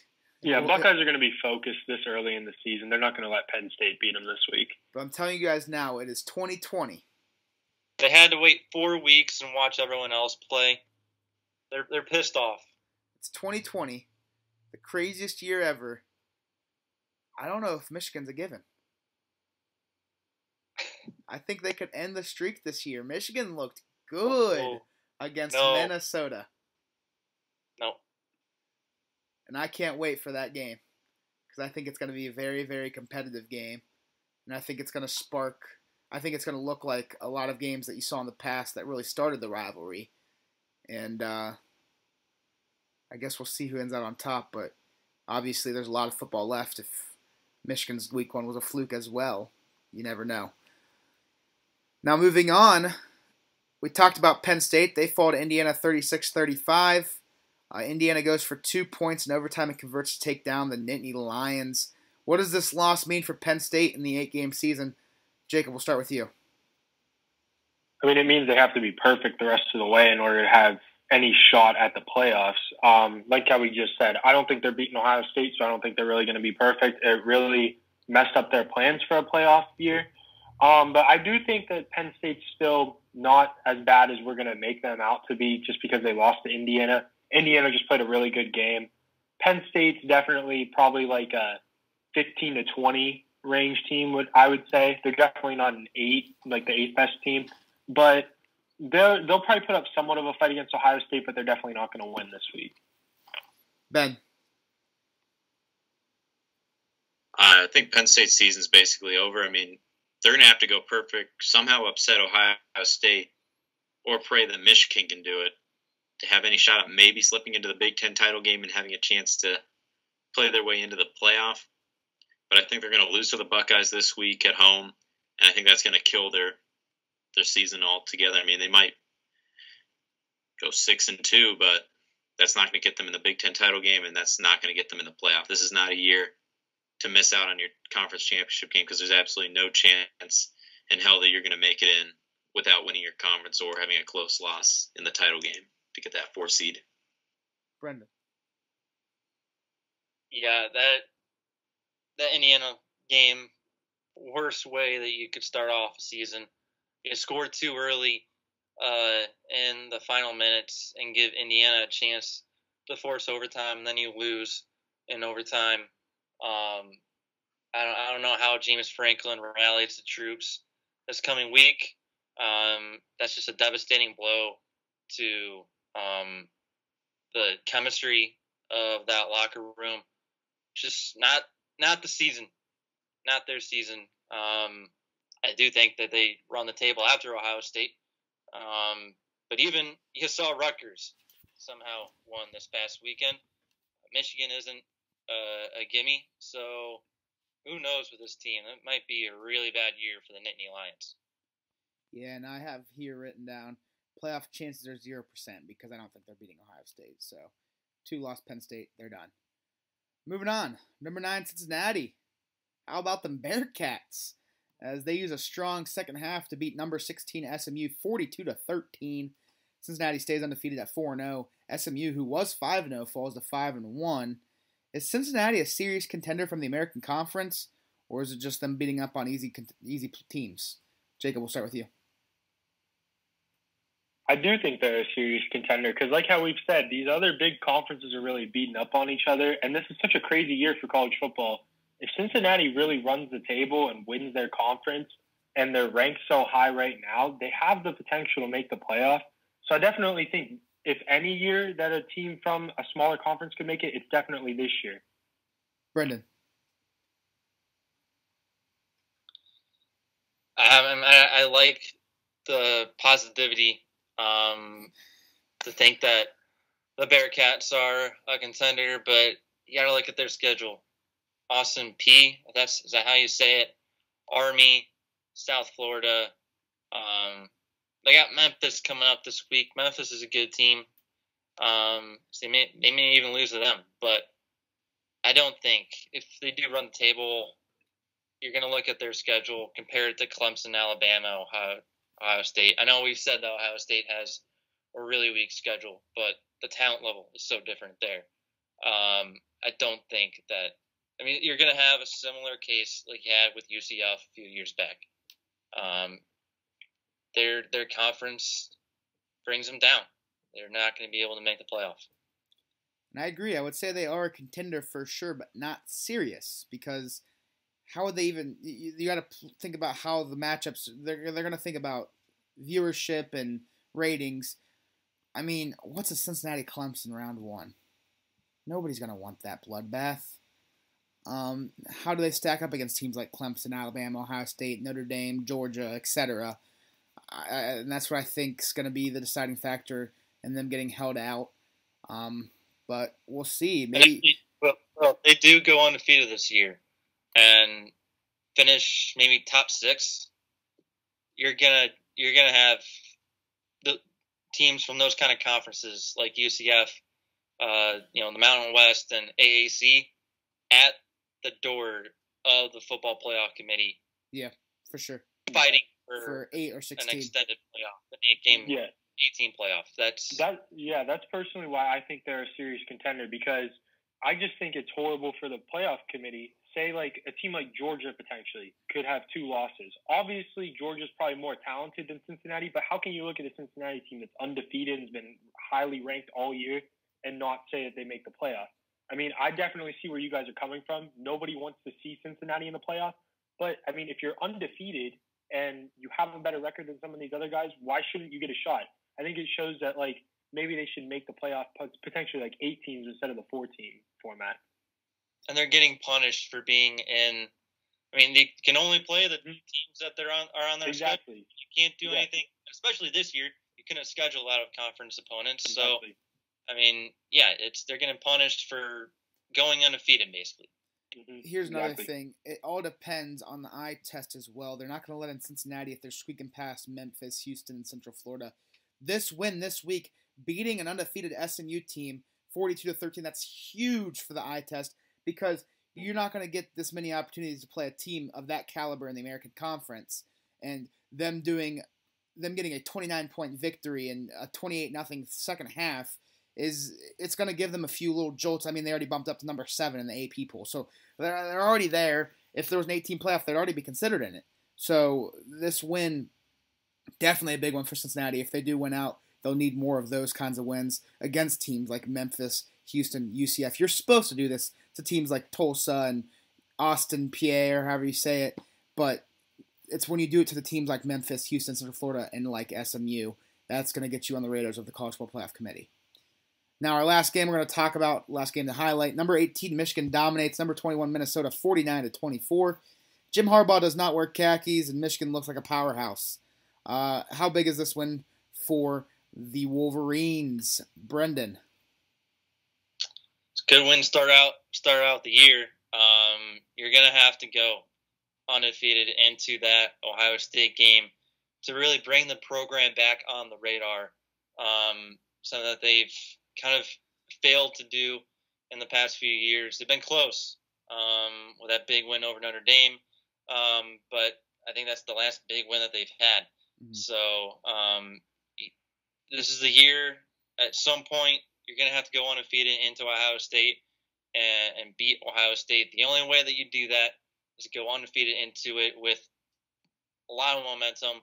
Um, potentially, I, th- I mean, I, I think that game is still at noon, but you got to be able to bring the program to where you're playing the your rival in your conference and make it a Saturday night primetime game or college game day.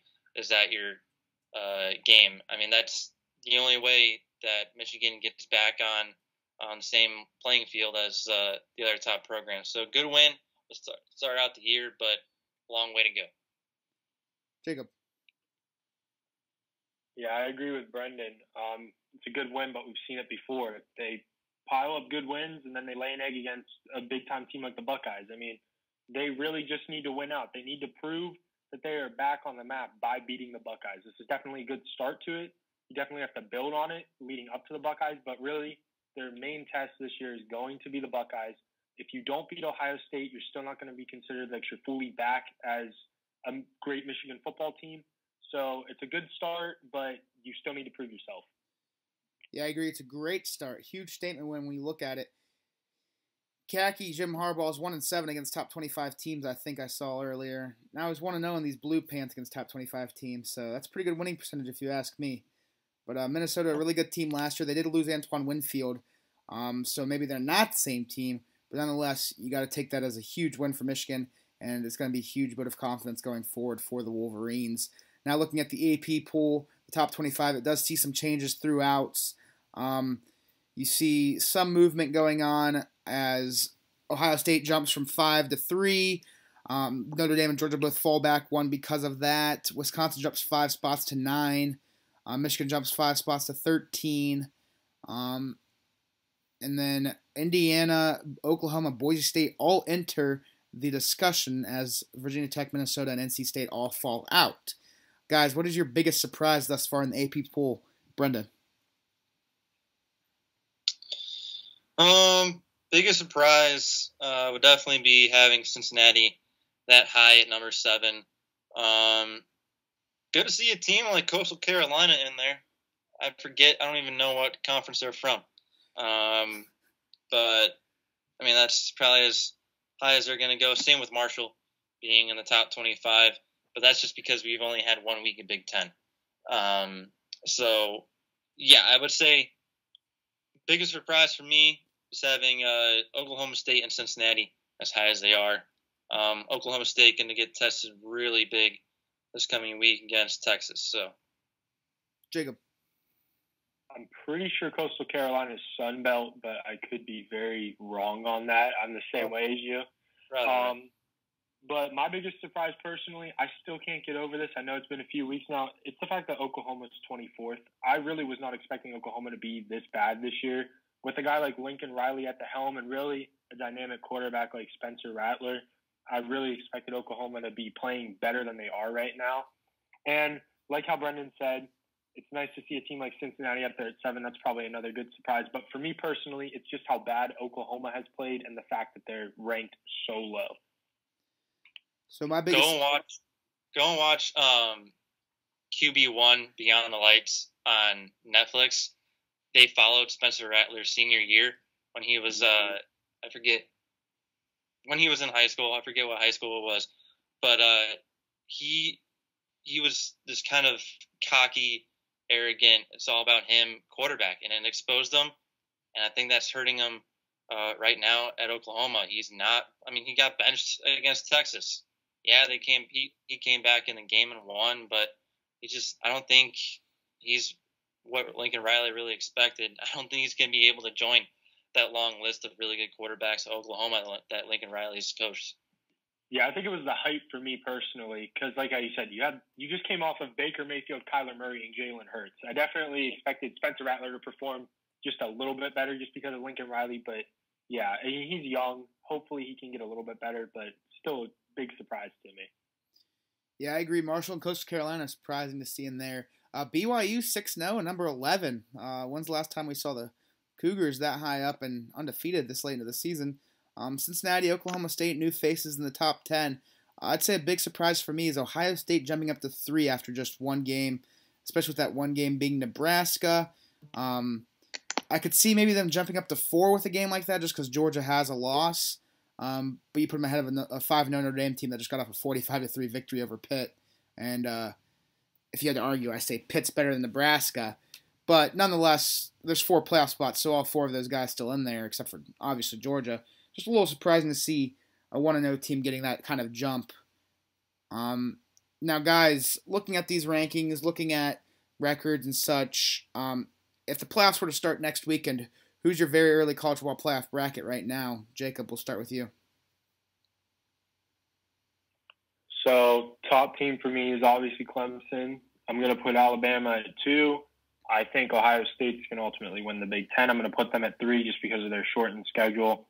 And four, I know that you guys are probably going to disagree with me on this because I said they were a serious contender, but I'm putting Cincinnati in there right now because I think they're going to win out. I think these other teams are just going to keep beating up on each other. And it's just the hopefulness in me. I totally understand what you guys are saying. Like, nobody's going to want to see Cincinnati in there, but I'm just hopeful that they'll put an undefeated team in the playoff, even though they might not be the best team, like the better team than, a, say, a Georgia or Notre Dame.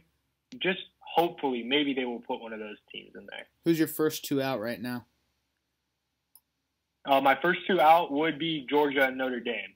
Okay. Not in any particular order. It's just those two teams. Personally, I think Oklahoma State's going to start to fall off. I have them losing to Texas this week.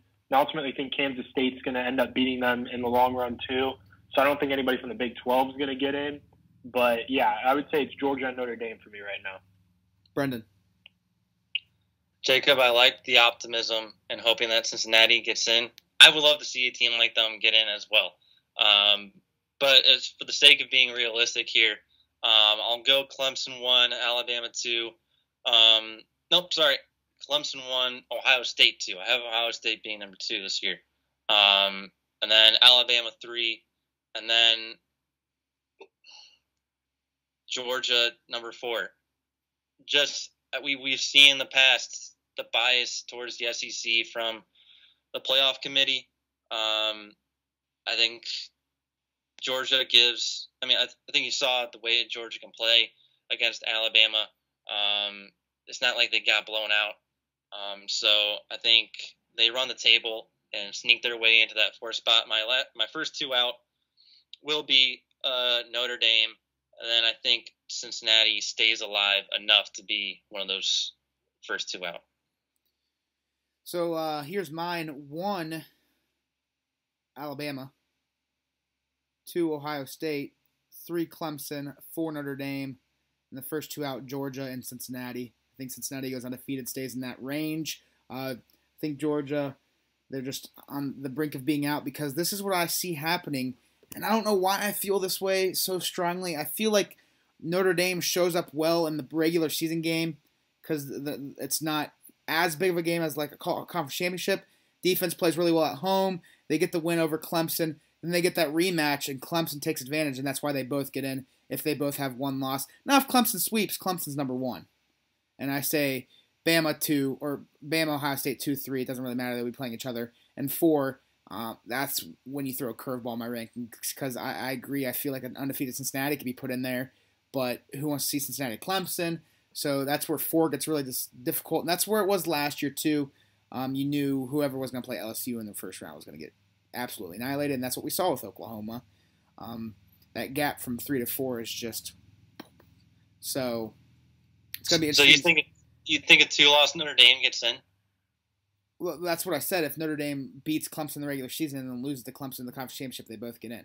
Oh, because right. I mean, there, there's no doubt in my mind that those two are the conference championship because one's going to be undefeated and one's going to have one loss. They're going to play twice this year because North Carolina already has that one loss. They still play Notre Dame. I think Notre Dame beats them, so there's two losses. And then at that point, everybody would be two losses or more. So, looking at week nine now, we have Boston College at number one, Clemson, Mississippi State at number two, Alabama, number three, Ohio State travels to number 18, Penn State, number four, Notre Dame at Georgia Tech, number five, Georgia at Kentucky, Texas at number six, Oklahoma State, Memphis at number seven, Cincinnati, Arkansas at number eight, Texas A&M, number nine, Wisconsin heads to Nebraska, Missouri travels to take on number 10 Florida in Gainesville. Western Kentucky at number 11 BYU. Michigan State at number 13 Michigan for the Michigan rivalry. Number 15 North Carolina at Virginia. Number 16 Kansas State at West Virginia. Number 17 Indiana at Rutgers. Number 19 Marshall at FIU. Number 20 Coastal Carolina at Georgia State. Navy at number 22 SMU. Number 23 Iowa State at Kansas. Number 24 Oklahoma at Texas Tech. And number 25 Boise State at Air Force. So, guys, I'll start this one. Upset specials. I think Oklahoma State's going to be on upset alert against Texas. I think Ohio State can be on upset alert if Penn State did play a fluke game against Indiana. And I also think if KJ Costello can bring what he brought in week one against LSU, Alabama could at some point be on upset alert. But out of those three, I think Oklahoma State's the one to take to the bank. Jacob, what are your upset specials for this week? Um, yeah, I agree. I think Oklahoma State's definitely going to lose this week. Um, but yeah, looking at the rest of this, it's kind of hard to pick one. I would say potentially Missouri could give Florida a run for their money. They have a high-powered offense. They can potentially challenge the Gators. The Gators secondary isn't necessarily the greatest, but yeah, for sure, I think Texas is going to end up beating Oklahoma State. Missouri has a shot against Florida, but other than that, I don't really see many upsets happening this week. Brendan. Yeah, I like Memphis at number seven, Cincinnati. Memphis has played really well this year. Um, they played of course uh, it was UCF down to the wire. Um, they're three and one against a good Cincinnati four and zero oh team. Uh, potential upset there. Um, if you really want to consider it an upset, Rutgers. I mean, number seventeen, Indiana at Rutgers. They both somehow pulled off miracle wins this past week. Um, Rutgers winning there technically would be an upset, um, but I don't really see um, any opportunities for upsets uh, the rest of the way there. If Rutgers starts 2 0, the world's ending. Brendan, I think we're also learning that you're on uh, Cincinnati's. You're against Cincinnati in all ways. Uh, what did I Jacob a couple minutes ago? I'd love to see him in the playoff. I know, but you're, you're picking them on upset that. alert immediately after saying that. because playing good Memphis team. All right, guys. Game, game of the week. Course, I to say that. Who's your game of the week, Brendan? My game of the week, um, probably Texas at number six, Oklahoma State. Okay. Uh, Texas played really well against Oklahoma. Can they play really well against the other Oklahoma State team? Probably. So, well, I mean, this game will really determine what kind of team Oklahoma State is. So, looking forward to it. Jacob. Um, for me, it's just because it's the rivalry. It's Ohio State and Penn State. In my opinion, in more recent years, this rivalry has been better than Ohio State Michigan in a few ways, just because of the closeness and the back and forth. I still think Ohio State's ultimately going to end up winning this game, but I definitely think it's going to be a close game just because it's Penn State. It always seems to be a close game between these two, so I think that's the game of the week. I'm going to go Michigan State at Michigan. Um, I think this is another big game for Michigan. Um, yeah, Michigan State had a rough week one against Rutgers, seven turnovers, and they're not what they used to be. They have a first year head coach, but we know darn well that first year head coach doesn't want to start 0 2. He's going to bring whatever he can against his rival. And I think this is a big game for Harbaugh and the new quarterback and Milton, who, yeah, he had a great week one, but you got to keep that going. You got to get to 7 0 against before you play Ohio State, or that game does not matter. And so I, am looking, yes, it might be a blowout, and that's not what you want to see in a game of the week, but I'm just looking to see what Michigan can do after a statement win against Minnesota if it was just all hype or if they can carry it into a win against a rival. So that will be it for college football talk, and that will take us to our last sport we're going to talk about um, the MLB. So we're in the World Series. Game one, Dodgers take 8 3. Game two, Rays fight back, get 6 4 win. Game three, the Dodgers win 6 2. Game four, the Rays won 8 7, which is by far the best game of the series thus far. And then game five, last night, the Dodgers beat the Rays 4 2. The Dodgers have a 3 2 lead right now. Game six will be tomorrow night at 8.08 p.m. And game seven will be Wednesday at 8.09 if needed. Guys, your thoughts on this series so far? Jacob, I'll start with you.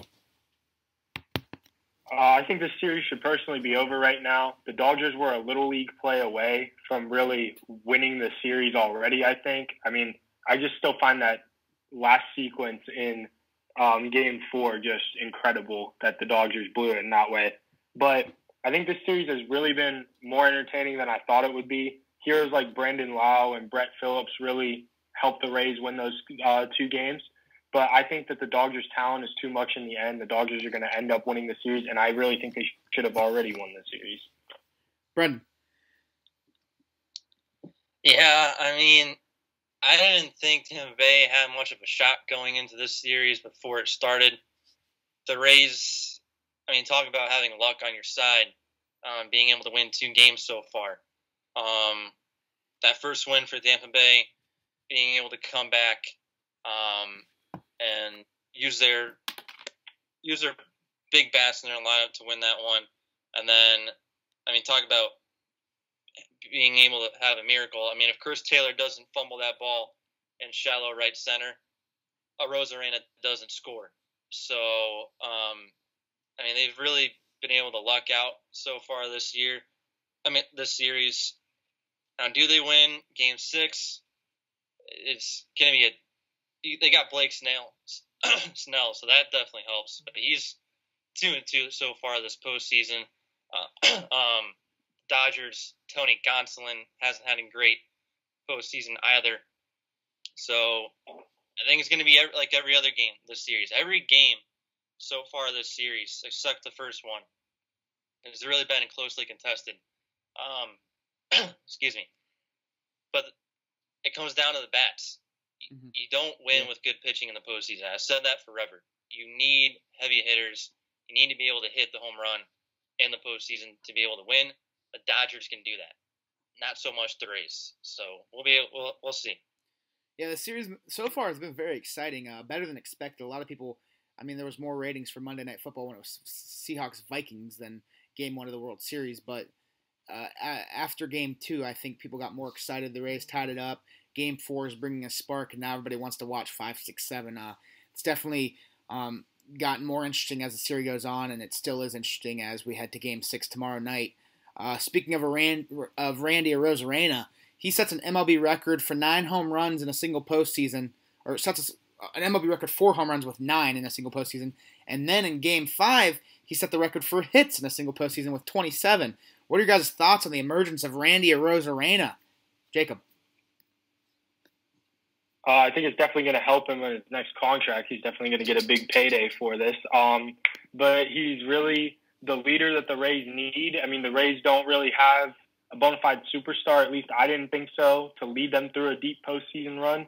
So he's really stepped up at the right time for them. He's definitely the guy that they can look to to produce offense for them, which they definitely need that to make a World Series run like this. So really, it's good for him. He's back out hot, right place, right time. So it's just it's just a great emergence for him. Brendan. Yeah, so you see guys like this kind of just come up and surprise you in the postseason before, right? And then you don't really hear about them in the following years. I don't think that's the case with this guy. I love his bat. Um, I mean, being able, being able to set these records already, small sample size, shortened season. Um, who knows if he would be able to do this through 162?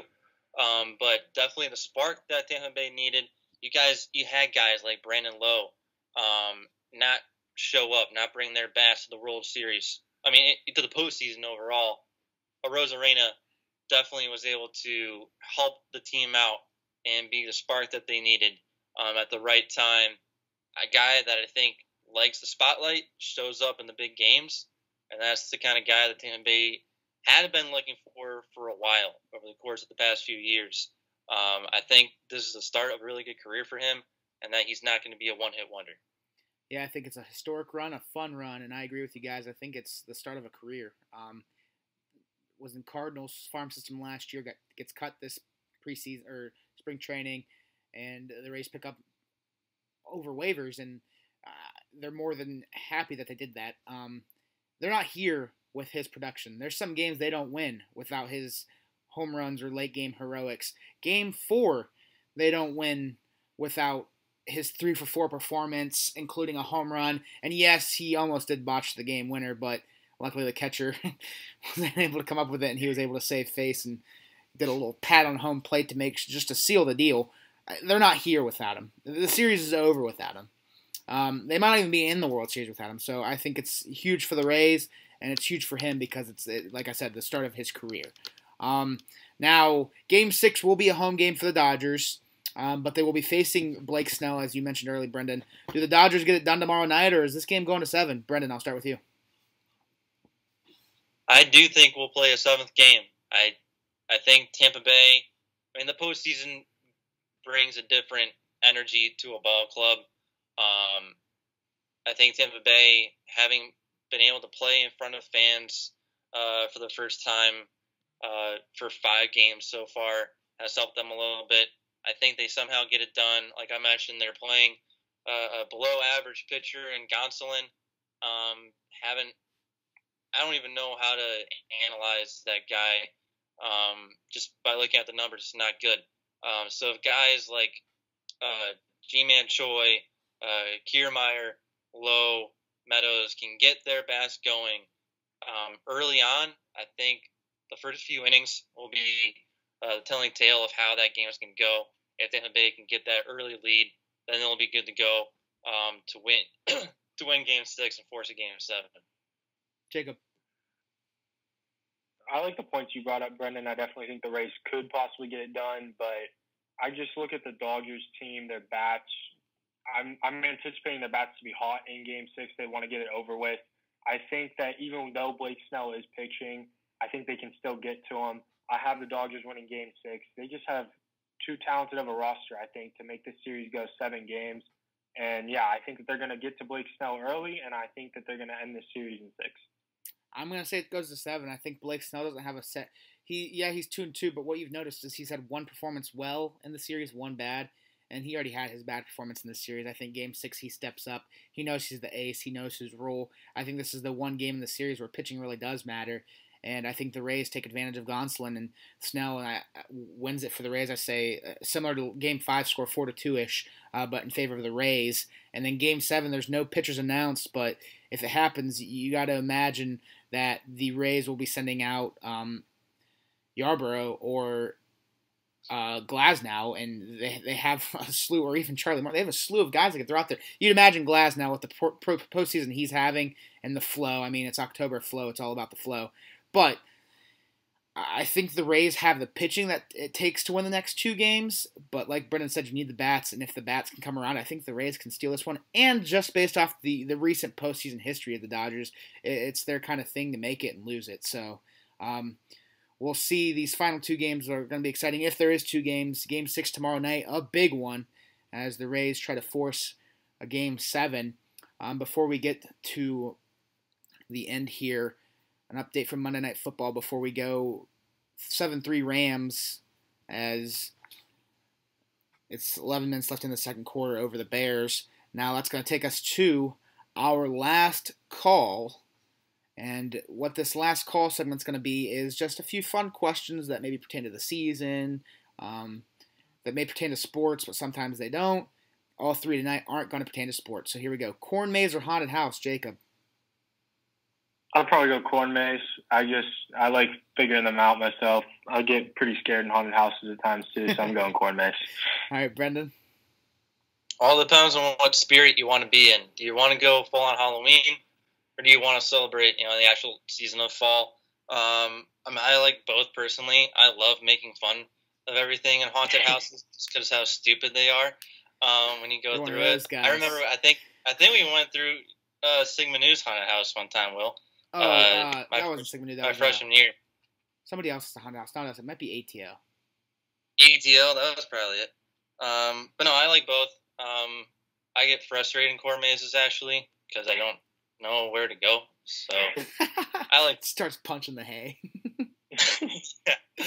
Um, I would probably pick haunted house. I'm not a big fan of corn mazes either. I actually have a story of a corn maze. We got on this like tractor trailer after the corn maze, and I missed the step getting off and like face planted. So now I am scarred for life from corn mazes. But um, haunted houses, never fallen off one of those. Um, so if you guys could go anywhere in the world to see the leaves change, where would you guys go? Brendan, I'll start with you.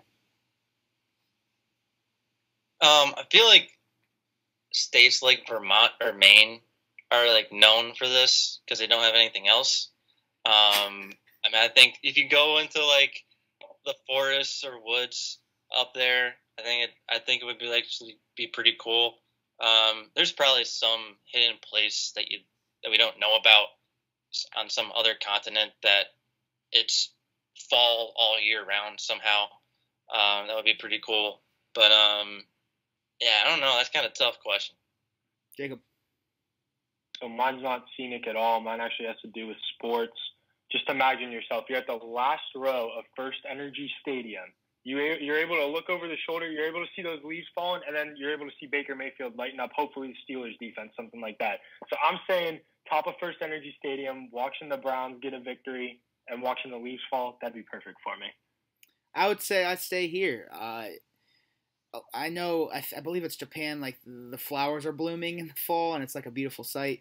But um, I don't know. I I just love. It's something about Ohio's falls.